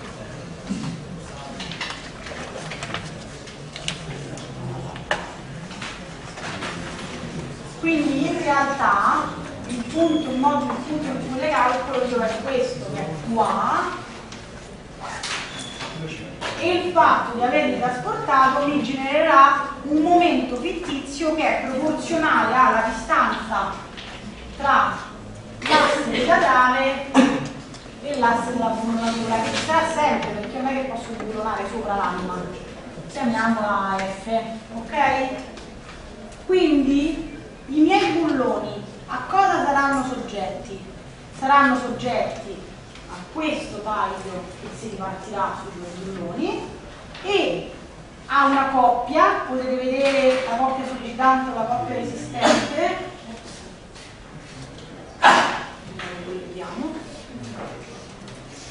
Potete vedere la coppia eh, sollecitante o la coppia resistente, non mi interessa, quindi la coppia G di qua, la coppia G di qua uguale. Fondamentalmente la cosa importante è che ci sarà un momento che si scompone in questo modo. Quindi la mia risultante sui bulloni sarà data da una risultante in questo senso e sarà una R fatta così. Ingrandendo solamente i bulloni, io avrò lo sforzo di taglio che si divide e un momento derivato dal fatto che l'asse in cui si applica la sollecitazione non è l'asse della bullonatura che agisce in questo modo e quindi avrò delle componenti R qua. Ecco che ho trovato R, con questo R faccio il mio quanto verifiche. Punto. Quindi l'unione di per sé stesso non è difficile, quello che voi non avete l'esperienza sufficiente per fare è dire vabbè ma io quanto la faccio grande questa squadretta? Che bulloni prendo? Quello che io vi adesso vi diamo delle regole di predimensionamento però a prescindere da quello se voi vi siete svolti ma due unioni a tipo a casa e i tipi che usate sono pochi eh, perché noi vediamo tutti ma quelli che usate sono quattro praticamente avete sviluppato un minimo di sensibilità. Prendete il numero che vi viene al compito. Prendete il numero che avete sugli esercizi se hanno similitudini avete usato le, le vite del 20 prendete quelle cioè 20, 18 potete fare benissimo così non è che io voglio vedere decine e decine di equazioni che mi fanno vedere quanto siete bravi anzi meno più equazioni usate più avete capito secondo me. Quindi questo era per farvi vedere ora ritorniamo su questi. Quindi un'unione tra trave principale e trave secondaria. Trasmette taglio c'è un momento fittizio dovuto alla non applicazione, il momento fittizio si scompone, quindi l'unione rimane sollecitata solo a taglio, solo che il taglio non è diretto così, ma è diretto trasversale. Questo si può fare con tutta una bella procedura che è quella che trovate sull'esercizio. Vediamola rapidamente per capire quali sono le cose chiave e quali sono i passaggi matematici. Questo è un nodo del vostro esercizio, quello che abbiamo fatto durante l'anno, quello là in particolare. Dovevamo come trave principale un 1500 e come trave secondaria 240. Noi scegliamo la classe dei bulloni, abbiamo visto prima 4 e 6, 5 e 6, dobbiamo fare le verifiche a mano, la maggior parte delle volte vengono utilizzati bulloni almeno 8 e 8. Quindi vi consiglio di scegliere i bulloni di classe 8 e 8. Questi sono i disegni che vi ho fatto brutti alla lavagna, fatti bene. Qui avete l'asse, qui avete l'altro asse, questo è il momento che si crea e questo è il modo in cui viene distribuito sulla bullonatura.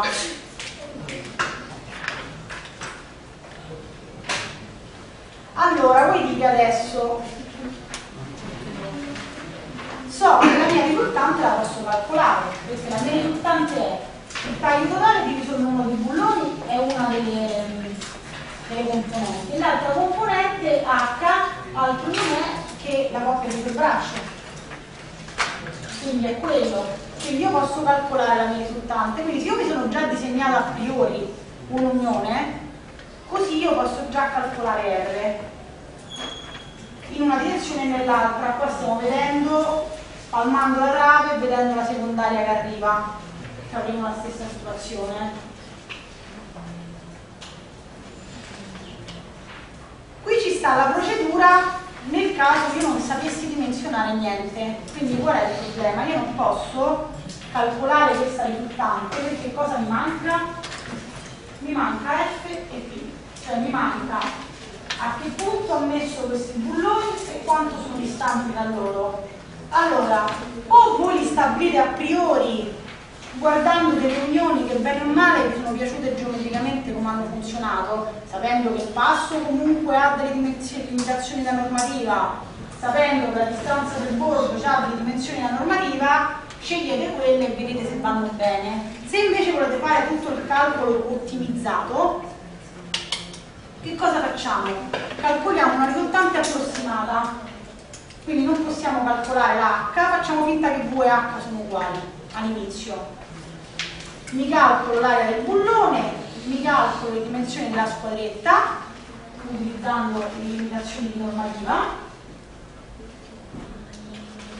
e dopodiché a quel punto io so quanto sarà lontana la, foro dal bordo, mi posso calcolare f di Quindi semplicemente quello, quindi è un modo per calcolare una R approssimata che mi fa calcolare il diametro di bulloni. Però se voi decidete una qualsiasi altra vostra ipotesi in partenza, la cosa importante è che voi disegnate una squadretta in cui le posizioni dei fori rispettano le dimensioni della normativa e quindi a quel punto potete calcolare la risultante esatta perché avete geometricamente tutti i bracci dei momenti e a quel punto calcolare R e invertendo la formula della recisione del gambo calcolare l'area minima.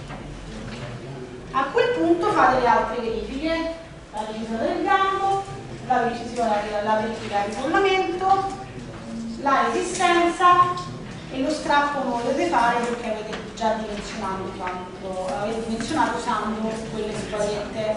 Quindi la procedura, a prescindere da quanto è lunga, non focalizzatevi su quanto è lunga, focalizzatevi sul fatto che deve essere corretto il tipo di unione che scegliete.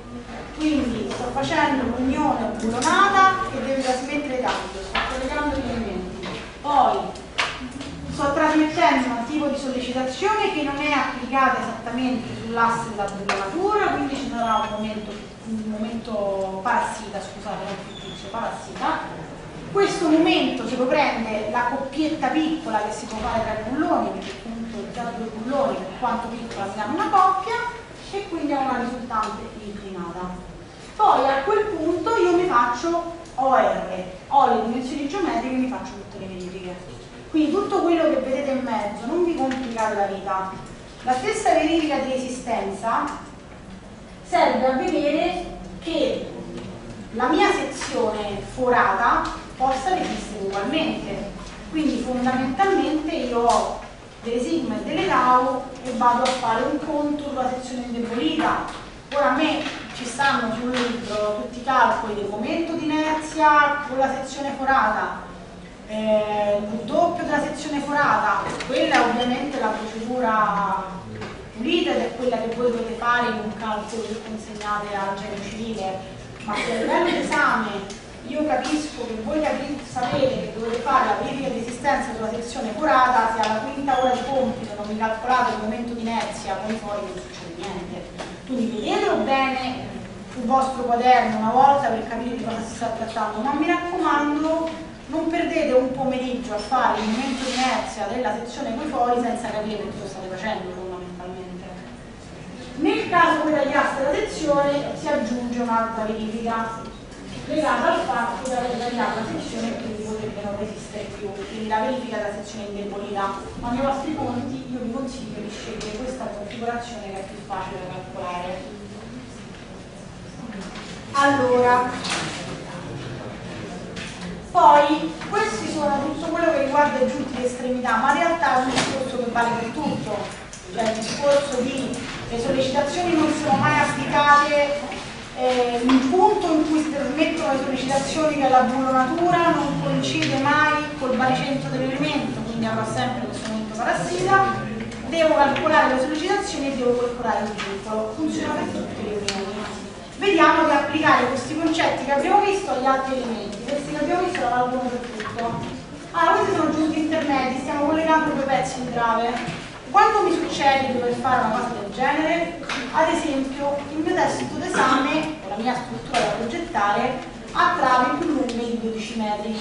Per problemi di trasporto, le travi, le travi hanno dimensioni commerciali fino a massimo 12 metri. In genere finisco addirittura 6, però diciamo 12 io come faccio a fare una trave da 12 metri, 13 metri? Mi faccio tutti i calcoli considerando un elemento unico da 13 metri. Cioè, la trave lo sbalzo da 13 metri, la calcolo, momento, taglio, tutto. Io progettista a un certo punto dovrò sapere che quei 13 metri interi non me li vendono, devo comprare due spezzoni e gli devo dire a loro di che lunghezza voglio gli spezzoni e mi devo ordinare i pezzi per ripristinare la continuità. Come ragionerò per una questione del genere?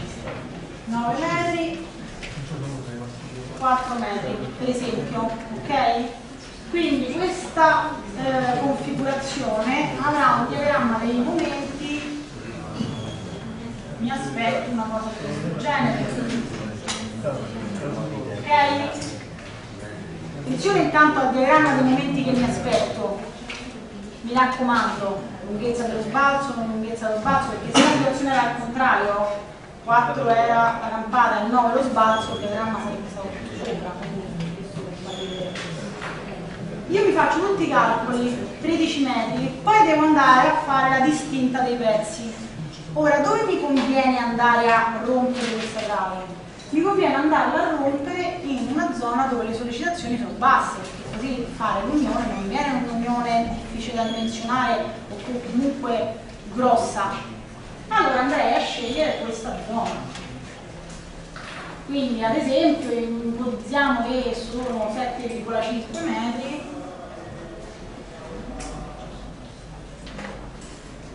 e quanti sono? 13 sono quelli che mancano 5,5 quindi io ordinando i, gli elementi in acciaio se mi è venuta una IP 500 ordinerò una IP 500 da 7,5 e una IP 500 da 5,5 a quel punto dovrò aver progettato anche l'unione tra i pezzi allora come la posso fare quest'unione?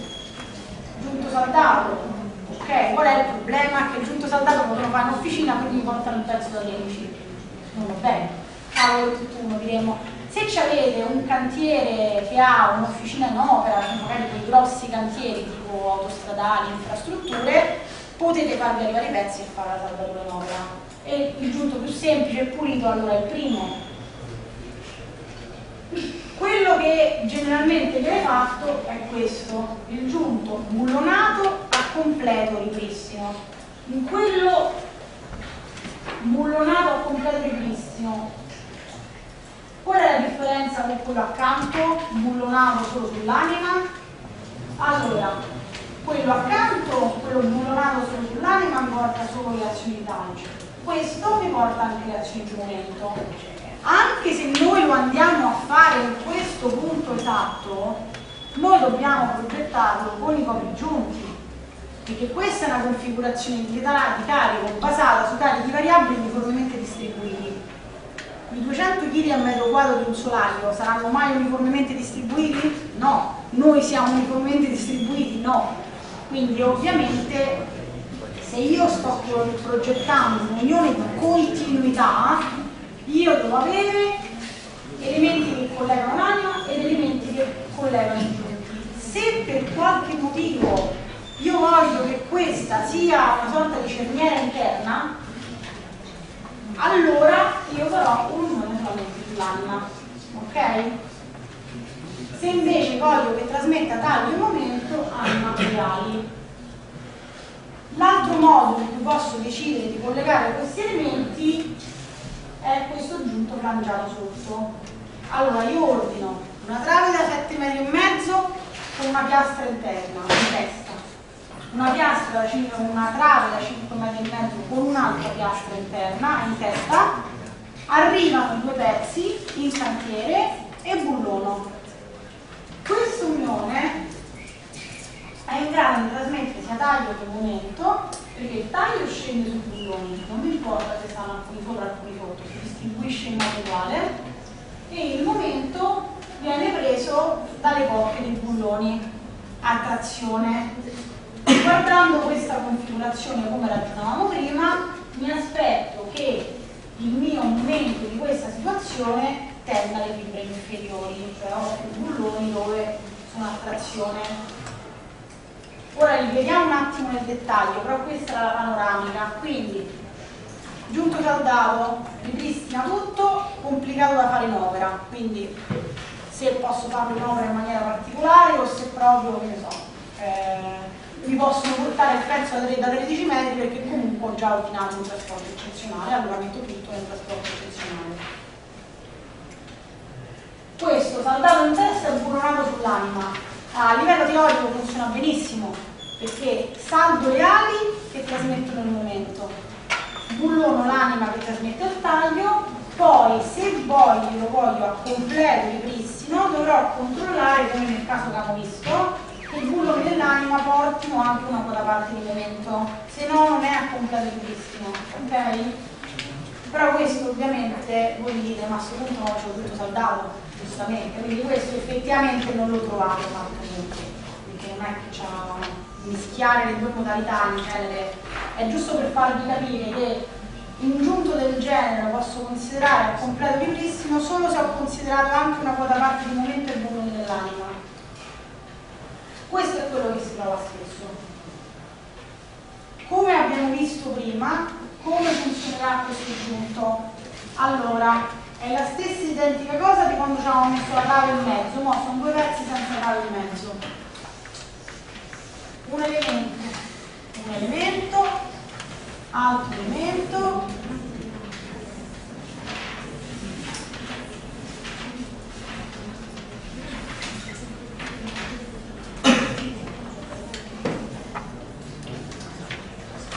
natura estesa quanto sia sull'anima, ovvio, se ho sollecitazioni grandi devo mettere tanti bulloni, se ho sollecitazioni piccole metto meno bulloni. Generalmente quando parliamo di completo ripristino immaginiamo delle unioni con tanti bulloni, ma perché le sollecitazioni sono elevate, però a livello di concetto se la porta va bene anche con i bulloni. Allora, trasmetto io qui, immaginiamo che prendo questa sezione qui, avrò un taglio al momento, avrò quindi questo taglio qui, avrò le fibre inferiori, quindi sarò qua, e quindi avrò il mio taglio che si divide in parti uguali su questi bulloni dell'anima, devo evitare, collegare le sollecitazioni dalla parte sotto, avrò una flancia inferiore e una superiore, un po' giunto, poi se il mio nodo è particolarmente sollecitato, allora come vedete qua, questo è un nodo che porta delle sollecitazioni elevate, avrò un coprigiunto, che è una coprigiunto, questa è una piastra, qui e qui. Sono un rinforzo e avrò un bullone.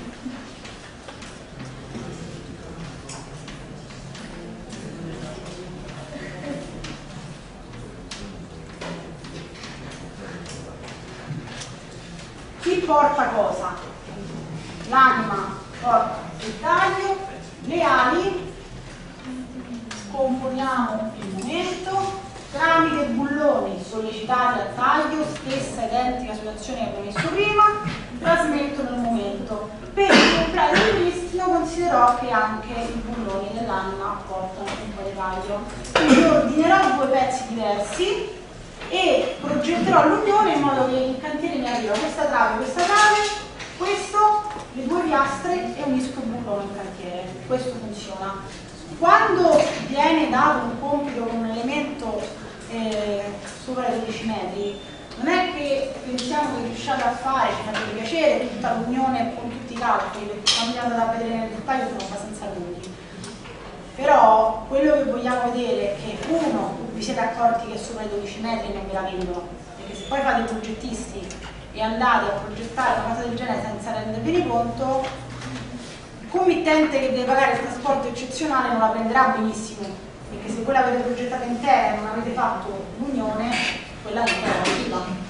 Quindi uno che vi accorgiate che sopra i 12 metri, due che ragionate su dove spezzarla e tre che disegnate almeno, almeno disegnato un giunto che sia a completo ripristino. Cioè non mi disegnate un giunto che ci abbia solo il taglio perché dire io ho messo qui ha solo il taglio, no, e questa è ovviamente una schematizzazione. Quindi se io voglio completo ripristino devo mettere elementi sull'anima ed elementi sugli ali, sempre una volta che mi avete disegnato questo e mi avete detto i bulloni dell'anima sono soggetti a taglio, i bulloni delle ali sono soggetti a taglio, io mi fido che avete capito, che, che poi finito il tempo. Però un'unione in cui voi mi avete già messo che sapete che sono soggetti a taglio, l'avete disegnata così, per me la sapete fare, perché poi è giusto un discorso di equazione, quindi mi raccomando. Il flangiato per l'appunto all'anno discorso che il momento viene trasmesso per bulloni a trazione che mi danno una coppia. E questo invece trasmette taglio quindi questo è una cerniera interna.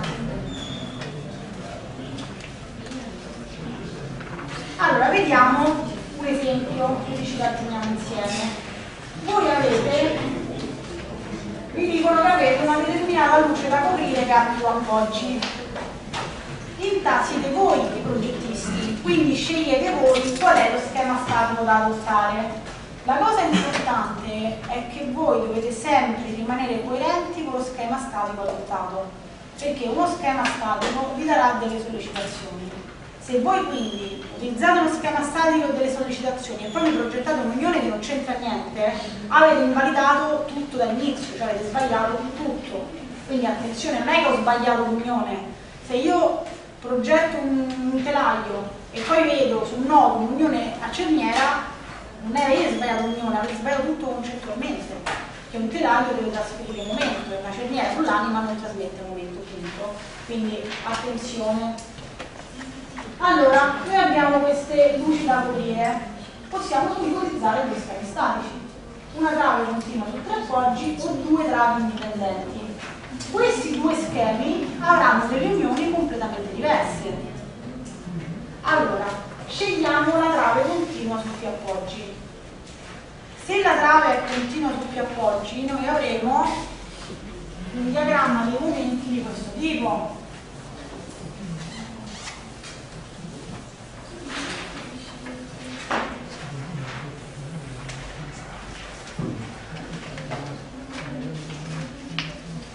se il carico è completamente ripartito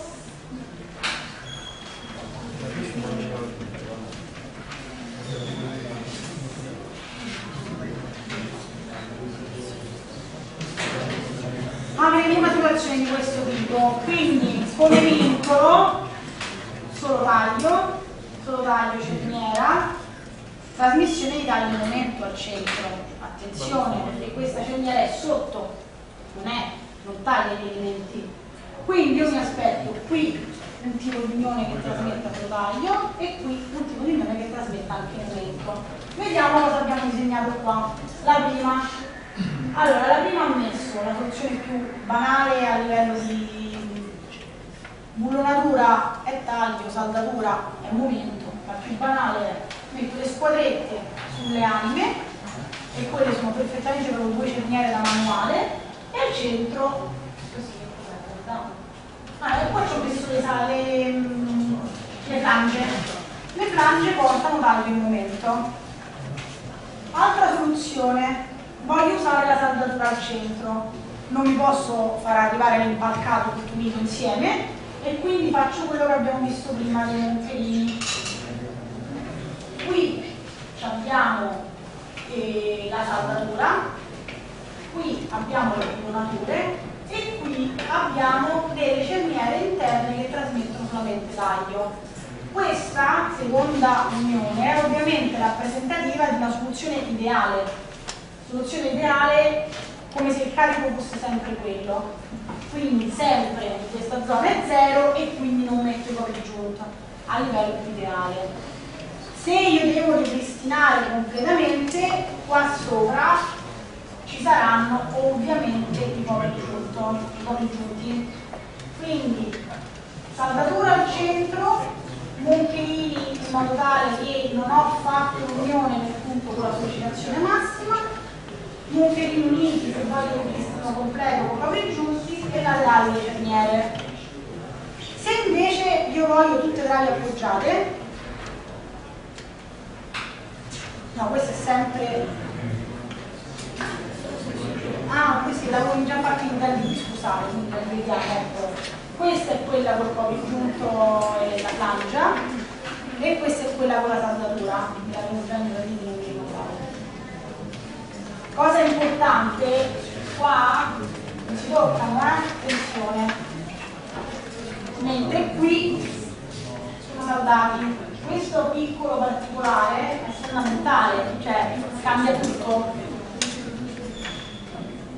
qua invece ho deciso di considerarlo come due travi appoggiate separate. Allora in questo caso si parla di tutte le cerniere, perché sono trave appoggiata e trave appoggiata, e quindi cerniera, cerniera, cerniera, cerniera, tutte uguali, semplici, semplici. Trovate l'esempio di questo proprio giunto, di questa unione di continuità calcolata sul libro. Vedete, per farvi un'idea, le sollecitazioni trasmesse sono elevate, 130 minuti, 200 minuti metro, stiamo parlando di sollecitazioni molto elevate.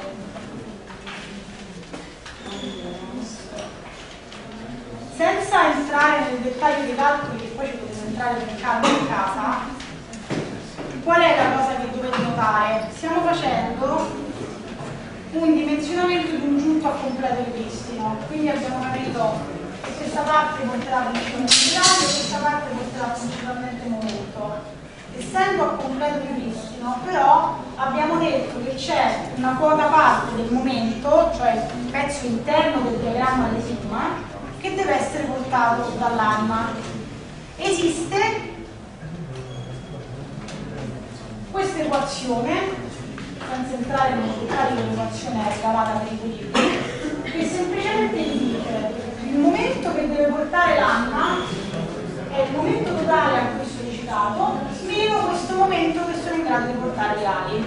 Quindi voi vi calcolate il momento che serve che porti l'anima, lo ripartite sui bulloni come sforzo taglio e poi vi fate dimensionamento e verifica del collegamento delle ali, quindi il cover giunto con lo sforzo di taglio che sono i bulloni sollecitati a taglio dimensionamento e verifica del collegamento dell'anima e quindi l'anima, lo sforzo di taglio, quello aggiuntivo dato dal momento, tutti i bulloni sollecitati a taglio, le quattro verifiche del taglio. Altra cosa che vi manda veramente in confusione. Allora, il giunto trave colonna noi consideriamo generalmente due tipologie di unioni fondamentalmente tra la trave e la colonna. Cioè abbiamo la cerniera, quando abbiamo scelto uno schema di triangolari e una colonna incastrata alla base, un nodo rigido quando abbiamo scelto uno schema a quindi abbiamo queste due tipologie. Secondo quello che ci siamo detti finora, vediamo a chi somigliano questi nodi. Tutto saldato sarà sicuramente fratello del telaio tutto bullonato sarà una cerniera, abbiamo già capito questo. Allora, il primo appunto, è tutto saldato, presenta addirittura degli elementi di rigidimento, delle piastre in mezzo, perché le ali che spingono sulle ali della colonna dovrebbero provocare delle deformazioni, quindi questi elementi che aiutano a bloccare le deformazioni. Giunto flangiato, allora, quello è il classico modo di un telaio, ora ci entriamo nel dettaglio, però vedete la colonna, la trave, a qui alla attaccata una piastra e poi ci sono i bulloni. L'ultimo a destra in alto è proprio il classico eh, esempio una trave principale che arriva su una colonna. questo è un giunto saldato, difficile da trovare nessun'opera per le motivazioni già dette, però quando lo potremo trovare? Dovremo trovare qua hanno fatto la saldatura e il moncherino. Quello viene fatto molto spesso adesso. Allora, l'unico punto a Roma dove penso che riuscite a vedere dei legnoni in acciaio, a piazza, come si chiama? Piazza Pitagora, vicino a Villa Borghese salendo in mezzo ai Parioli, stanno costruendo un edificio in acciaio e c'è tutte le unioni aperte. Se fate una passeggiata, a parte gli scherzi, andatela a vedere perché vedete tantissimi esempi il moncherino, una cosa, non una cosa. Lo stanno costruendo adesso, quindi se ci andate in fretta trovate ancora tutte le unioni aperte. Uno dei pochissimi elementi in acciaio in costruzione a Roma perché è diventato pochissimo in acciaio. Se ci passate, incrocio tra insomma, mi pare una allora, parte questo, quindi questa è una saldatura e potete fare con un cucchiaino. Perché adesso viene utilizzato tanto? Ora vi do questa informazione giusto per essere in grado di guardare una struttura. Perché la normativa sismica che noi adesso non vediamo, c'è un approccio che voi avete sentito che si chiama la gerarchia delle resistenze che dice fondamentalmente che io voglio far rompere le travi prima delle colonne perché se si rompe il solaio non crolla l'intera struttura, questo come l'ho fatto ovviamente è molto semplice. Quindi quello che viene fatto nelle strutture moderne in acciaio, dei nodi super robusti e delle unioni bullonate spostate un po' al lato dei nodi. Quindi trovate molto spesso questa tecnologia del saldare il nodo e fare un moncherino con l'unione bullonata qua ed è proprio dovuto al fatto che se si deve rompere qualcosa si romperà qui e non si romperà la donna. Questo perché se vedete qualcosa di aperto trovate veramente fatto così. Questo, ecco questo per esempio, vediamo qualcosa che porta al taglio e qualcosa che porta all'unione. E l'ultimo, perché questo voi non so per quale motivo non lo sapete disegnare, è un'unione di una trave con l'anima della colonna. Rassegnatevi, le vostre strutture sono tridimensionali, quindi se questa è una colonna e qua arriva una trave, giuro che ne arriva anche una dall'altra parte. Quindi se io seziono da una parte vedo questo, se io seziono dall'altra vedo questo, quindi queste due non sono complete nessuna delle due, perché in teoria dentro a quell'anima c'è una trave e attaccata a quest'ala c'è un'altra trave, ora facciamo un esempio, eh? però giusto per ricordate sono sempre tridimensionali. Allora, giunto saldato, costoso, necessita saldatura in opera ma mantiene il fondo. Quando lo posso trovare questo? Qualche struttura super bella a livello architettonico, una forma super particolare che miei non mi facciano bullonature che mi rovinano tutto, eh, facciamo fare due opere, pagano loro. Nel senso sarà effettivamente, verranno magari siccome un'opera a livello architettonico molto importante, accetteranno i costi di fare le verifiche delle saldature in opera. Quindi magari non sarà così, sarà un po' più bellina. Allora, se le sollecitazioni sono basse non ho bisogno di rigidimenti e saldo e basta. È difficile avere una situazione di questo genere vediamo quelle che utilizziamo noi. Allora, dobbiamo fare il nodo di un telaio. Il nodo di un telaio deve trasmettere e momento. Abbiamo in genere la soluzione scelta è questa, il cosiddetto giunto cangiato. Disegniamo un attimo per capire come funziona.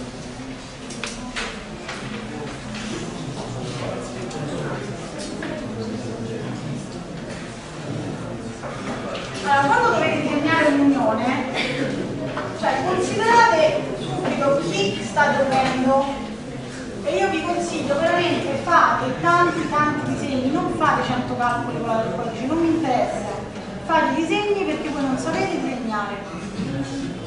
Generalizzo, ma io sul 70% di voi non sapete disegnare. Allora, stiamo collegando, ragioniamo su quando noi facciamo un telaio, la struttura del telaio avrà una colonna soggetta a presso pressione dobbiamo girare, abbassate la voce scusate, dobbiamo girare la colonna in modo tale che lavori a flessione nella direzione dell'asse forte. Qual è l'asse forte di una colonna? È l'asse X, chiamiamolo, cioè funziona bene dal lato in cui ha il momento di inerzia elevato, funziona peggio dal lato in cui non ha il momento di inerzia elevato. Quindi se questa è la mia struttura di prima, eh, no. e ad esempio qui ho scelto di avere un telaio esempio incernierato a terra, questo nodo qui deve trasmettere taglio momento. Se dall'altra parte io ho dei ritti pendolari,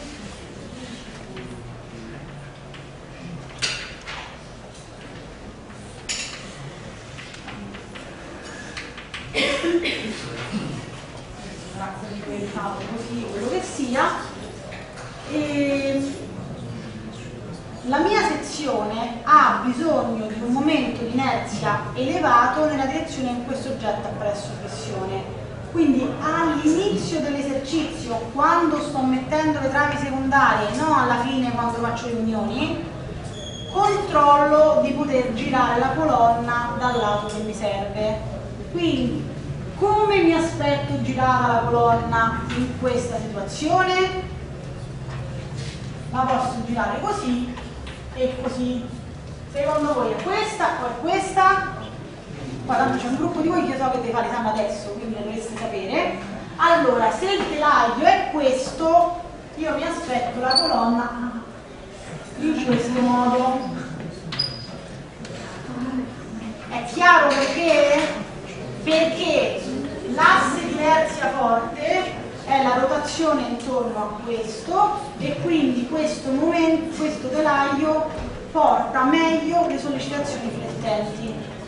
Allora, quindi questo perché è collegato con l'unione? È collegato con l'unione perché quindi quando io avrò un'unione di un telaio mi aspetto la trave principale collegata all'anima o all'ala? All'ala, ok? Sarà collegata qua, questa è la principale, questi sono i secondarie. Eh? Quindi, in caso telaio, io mi aspetto di avere questa situazione.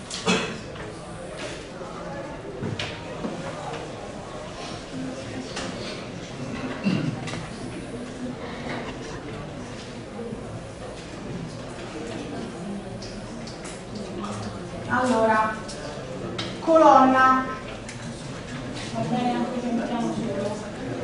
Dobbiamo collegare la trave abbiamo deciso di provare a utilizzare il giunto frangiato dove stanno in questo modo le fibre tese? sopra o sotto? so che è 1,20 però provate, fate finta di partecipare allora, le fibre tese avremo un diagramma di momenti di questo tipo trasmesso così questo va a 0 quindi avremo fibre tese superiori. Quindi io mi aspetto i bulloni a trazione sopra, quindi più bulloni sopra. Quindi avrò una piastra a cui è collegata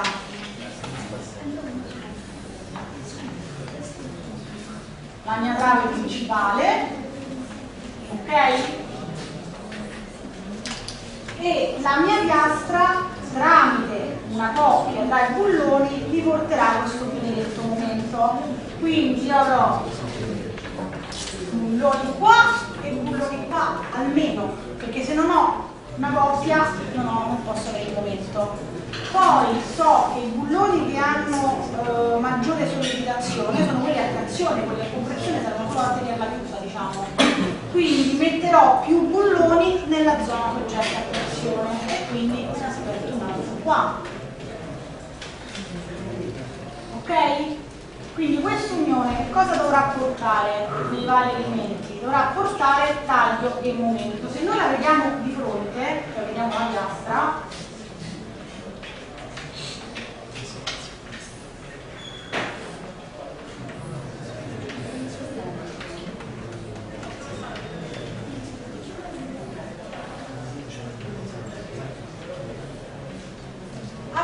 situazione di questo tipo, una coppia qua sopra, una coppia sotto l'ala e una coppia qua sotto. Ok? Quindi avremo il taglio che si dividerà in modo uguale tra questi sei bulloni, perché al taglio non importa se stanno sopra o stanno sotto. Il taglio si divide in modo uguale, quindi avremo sei bulloni che portano sforzo di taglio e la reazione che sarà questo momento così, che sarà ripartito con questa coppia, la cui distanza è la distanza tra le ali, e quindi avremo questo momento che andrà a sollecitare a trazione questi bulloni.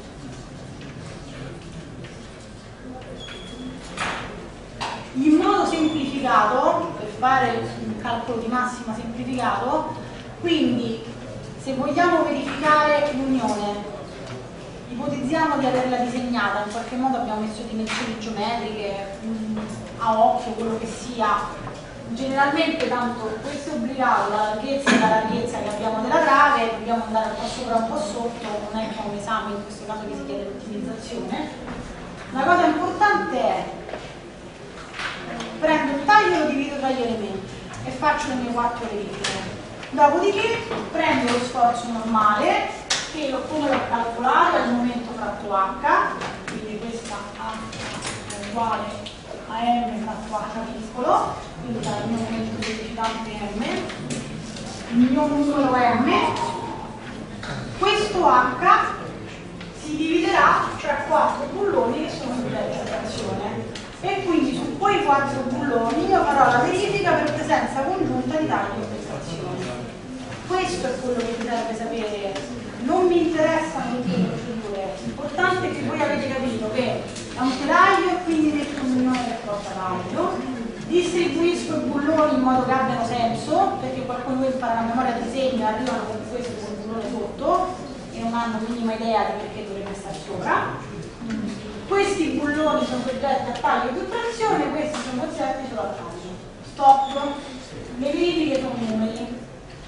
Ce la potremmo cavare anche con quella di destra perché? Perché l'aggiunzione sull'anima porta al taglio e quella sulle ali trasporta l'aumento. Quindi funziona allo stesso identico modo.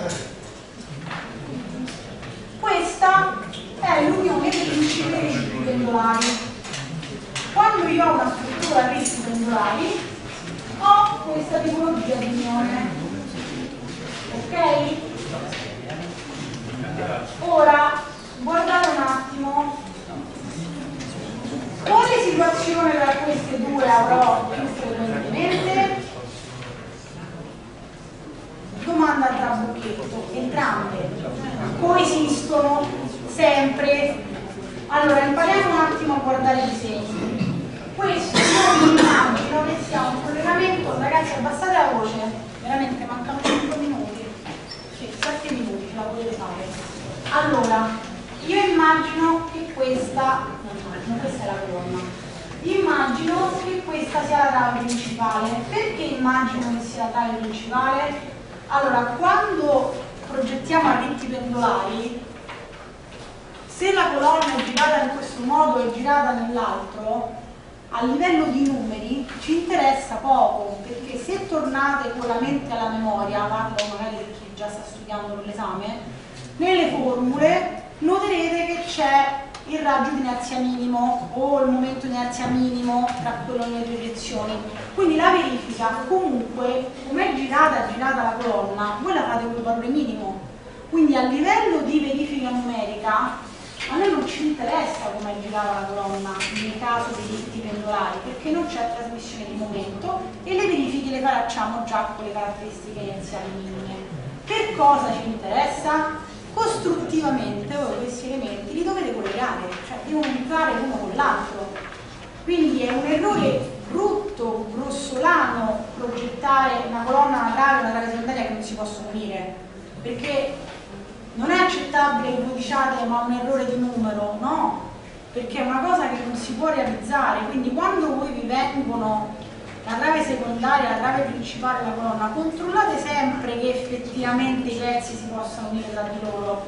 Dato che la trave principale è più grande, nei ritti pendolari io mi aspetto che la trave principale si colleghi all'anima all'ala perché è più grande, semplicemente. Qui abbiamo il pezzo tondo e quindi è più piccolo. Quindi generalmente io mi aspetto che la trave principale sia attaccata all'ala e la trave secondaria, questa è una vista dall'alto, eh, la trave secondaria sia attaccata all'anima, ok? Ora, questa informazione voi la potete utilizzare anche per il predimensionamento delle colonne, perché per il predimensionamento delle colonne, visto che i vostri edifici sono bassi, non avete mai grandi sollecitazioni su queste colonne quindi spesso il vincolo principale è dovuto alla geometria degli elementi. Quindi un primo valore di predimensionamento può essere il più piccolo profilo in cui riesco a collegare bene la trave. Perché se io ho un IVE 500 che ha 200 di lato, io devo avere almeno una colonna 200, non metto le ali che escono. E una colonna che ha 200 porta già un signor carico. Quindi considerate sempre la fattibilità dell'unione tra le tecnologie di predimensionamento perché è rapida. Quindi una volta che avete fatto un po' di esercizi, voi sapete già un HA200 più o meno che sforzo normale vi porta, cioè avete quindi l'edificio, avete la trave, riuscite a dimensionare molto in fretta e dimostrate di aver capito come funziona. Quindi qui noi abbiamo elemento ovviamente trasmettiamo l'anima con, poi collegata all'anima per una questione all'ala per una questione logica, cioè non posso collegare all'anima. Quindi trasmissione di taglio anche se è collegato all'ala per una questione costruttiva. Qui abbiamo anima e anima, quindi stiamo trasmettendo all'anima della colonna tramite l'anima della trave secondaria, è proprio una cerniera pulita.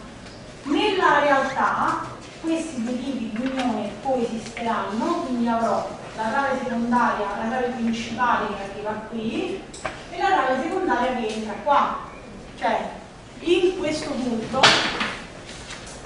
se noi immaginiamo la colonna messa in questo modo, se io guardo dall'alto avrò la mia colonna vista dall'alto, ok? Poi mi aspetto una trave secondaria arriva da, chiamiamolo sotto, ok? Della trave secondaria io che vedo solo il sopra, quindi metto tratteggiata l'anima, ok? E poi io avrò qua una trave secondaria che arriva sotto quest'angolo, che arriva qui. E mettiamo tratteggiata anche l'anima. Questo disegno vi spiega perché quando calcoliamo la trave principale ignoriamo le reazioni ai lati. Noi diciamo questa frase, da trave secondaria a trave principale considero le reazioni delle travi secondarie al centro, non considero quelle sui vincoli. Perché? Perché qua arriva la trave. La trave secondaria è questa quella del vincolo, scarica sulla colonna, non, non si toccano le travi. Cioè anche se qui noi le disegniamo così, ingrandendo il vincolo, quindi in pianta noi abbiamo una cerniera che collega trave principale e trave secondaria, nella realtà costruttiva questa trave secondaria è questa, è collegata alla colonna, quindi il suo carico lo scarica sulla colonna, non si tocca con trave, questa è la motivazione questo è esattamente quello che vi ho fatto vedere disegnato un po' meglio, quindi taglio il momento, questo lo trovate anche questo tutto quanto dimensionato per provare a fare il calcolo. Ecco, questo è lo schema del procedimento, ma non ci entro nel dettaglio, provatelo a fare una volta voi. La cosa importante anche per questo, non perdete di mille le situazioni di calcolo, capite come funziona, a non mi interessano le formule. Vi faccio vedere l'ultima cosa quando facciamo il giunto cangiato, vi faccio notare una cosa.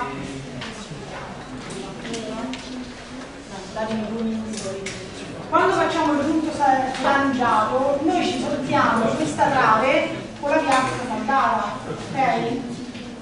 Quindi ci sarà da verificare anche la saldatura tra la piastra e la cava, che io ho fatto fare la cucina, perché questa è disegnata qua, queste strisce nere. Ragionando come abbiamo ragionato prima, a cosa sarà soggetta questa saldatura? Io avrò una saldatura che tende a puntare un momento in questo modo, quindi avrò dei cordoni, se ribaltiamo sul piano delle slide, allora, questi condoni si portano il taglio che avranno una tau eh, parallela, questi cordoni che mi portano il momento, avranno una prima ortogonale uscente ed entrante, e poi vedete che sarà una distribuzione comunque della pressione anche sui cordoni gamma. Però concettualmente i cordoni reali portano sigma ortogonale e i cordoni del ragno portano tau parallela. Allora, su queste non riusciamo a entrare nel dettaglio, ma il concetto chiave è che quello che abbiamo visto si applica in tutte le direzioni. Cioè, che significa? Che se io vi faccio vedere l'unione colonna-colonna e giro la slide, è esattamente identica alla unione travetrale. Che significa? Che una volta che ho definito le caratteristiche di codificazione, funzionano tutte allo stesso modo. Questa sarà un minore che mi porta sforzo normale nel momento, sforzo normale nel momento perché poi proprio giunto, proprio giunti, quella con solamente i bulloni vicini riuscirà a trasmettere lo sforzo normale, sarà una quindi funziona allo stesso identico modo. Questa ce l'avete comunque tutta svolta. Ultima cosa, la fondazione solamente questo allora abbiamo due comportamenti diversi ovviamente se abbiamo una cerniera un incastro alla base ok? Questi sono due vincoli ideali non verranno fatti in realtà però per farvi ragionare tutte quante le colonne avranno alla base una piastra. Quindi serve per ripartire le sollecitazioni in modo distribuito e non puntuale.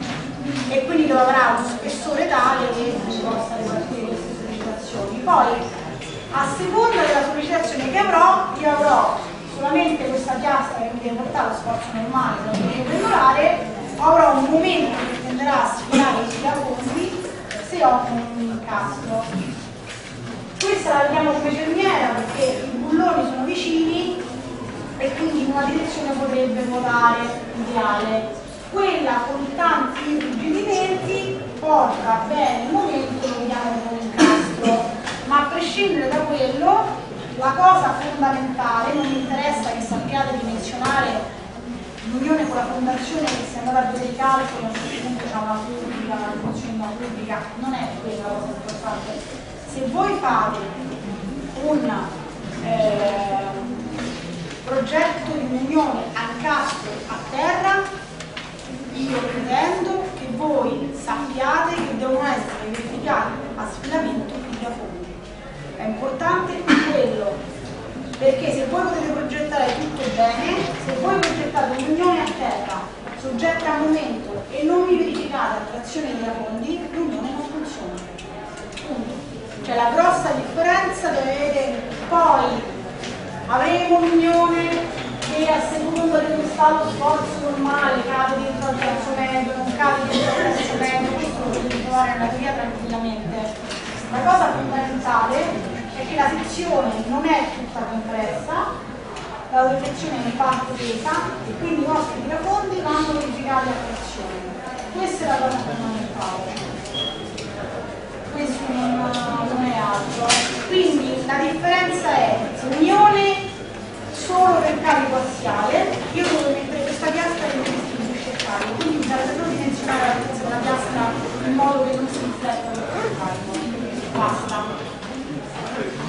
Unione colonna vinto a incastro, io dovrò andare a calcolare la risultante delle compressioni delle trazioni che mi dà equilibrio e dovrò andare a calcolare sia la piastra parzializzata, la parte della trazione e la parte della compressione, e sia che i rapunti non si scrivono. Poi tutta quanta la, tutta la teoria non mi interessa. Allo stesso identico modo funzionano i che i controventi se questo è il mio sforzo di trazione i miei controventi sono un punto non hanno altro. L'unica cosa che potete vedere diversa dei controventi è che se avete questo profilo che è AL voi avete l'asse della puntura l'asse baricentrica dell'elemento L, l'elemento L è così ok? Avrà un baricentro qua, quindi avete un asse baricentrico circa qui. L'asse baricentrico dell'elemento e l'asse della buonatura non coincidono perché? perché il profilo è piccolo, quindi non c'entra è qua. Fisicamente non c'entra.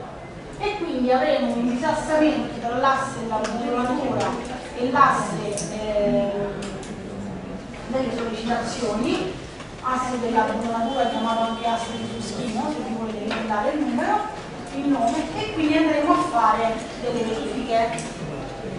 Ma quindi andremo a considerare come fatto con le altre unioni un piccolo momento fittizio dovuto al disassamento. Le verifiche sono sempre le stesse, è un'unione a taglio come tutte le altre quindi non pensate di trovare tutte le unioni dei controlli, no, è uguale. L'importante se avete capito il ragionamento che abbiamo fatto, fate due unioni che sarete valute. Va bene, vi ringrazio e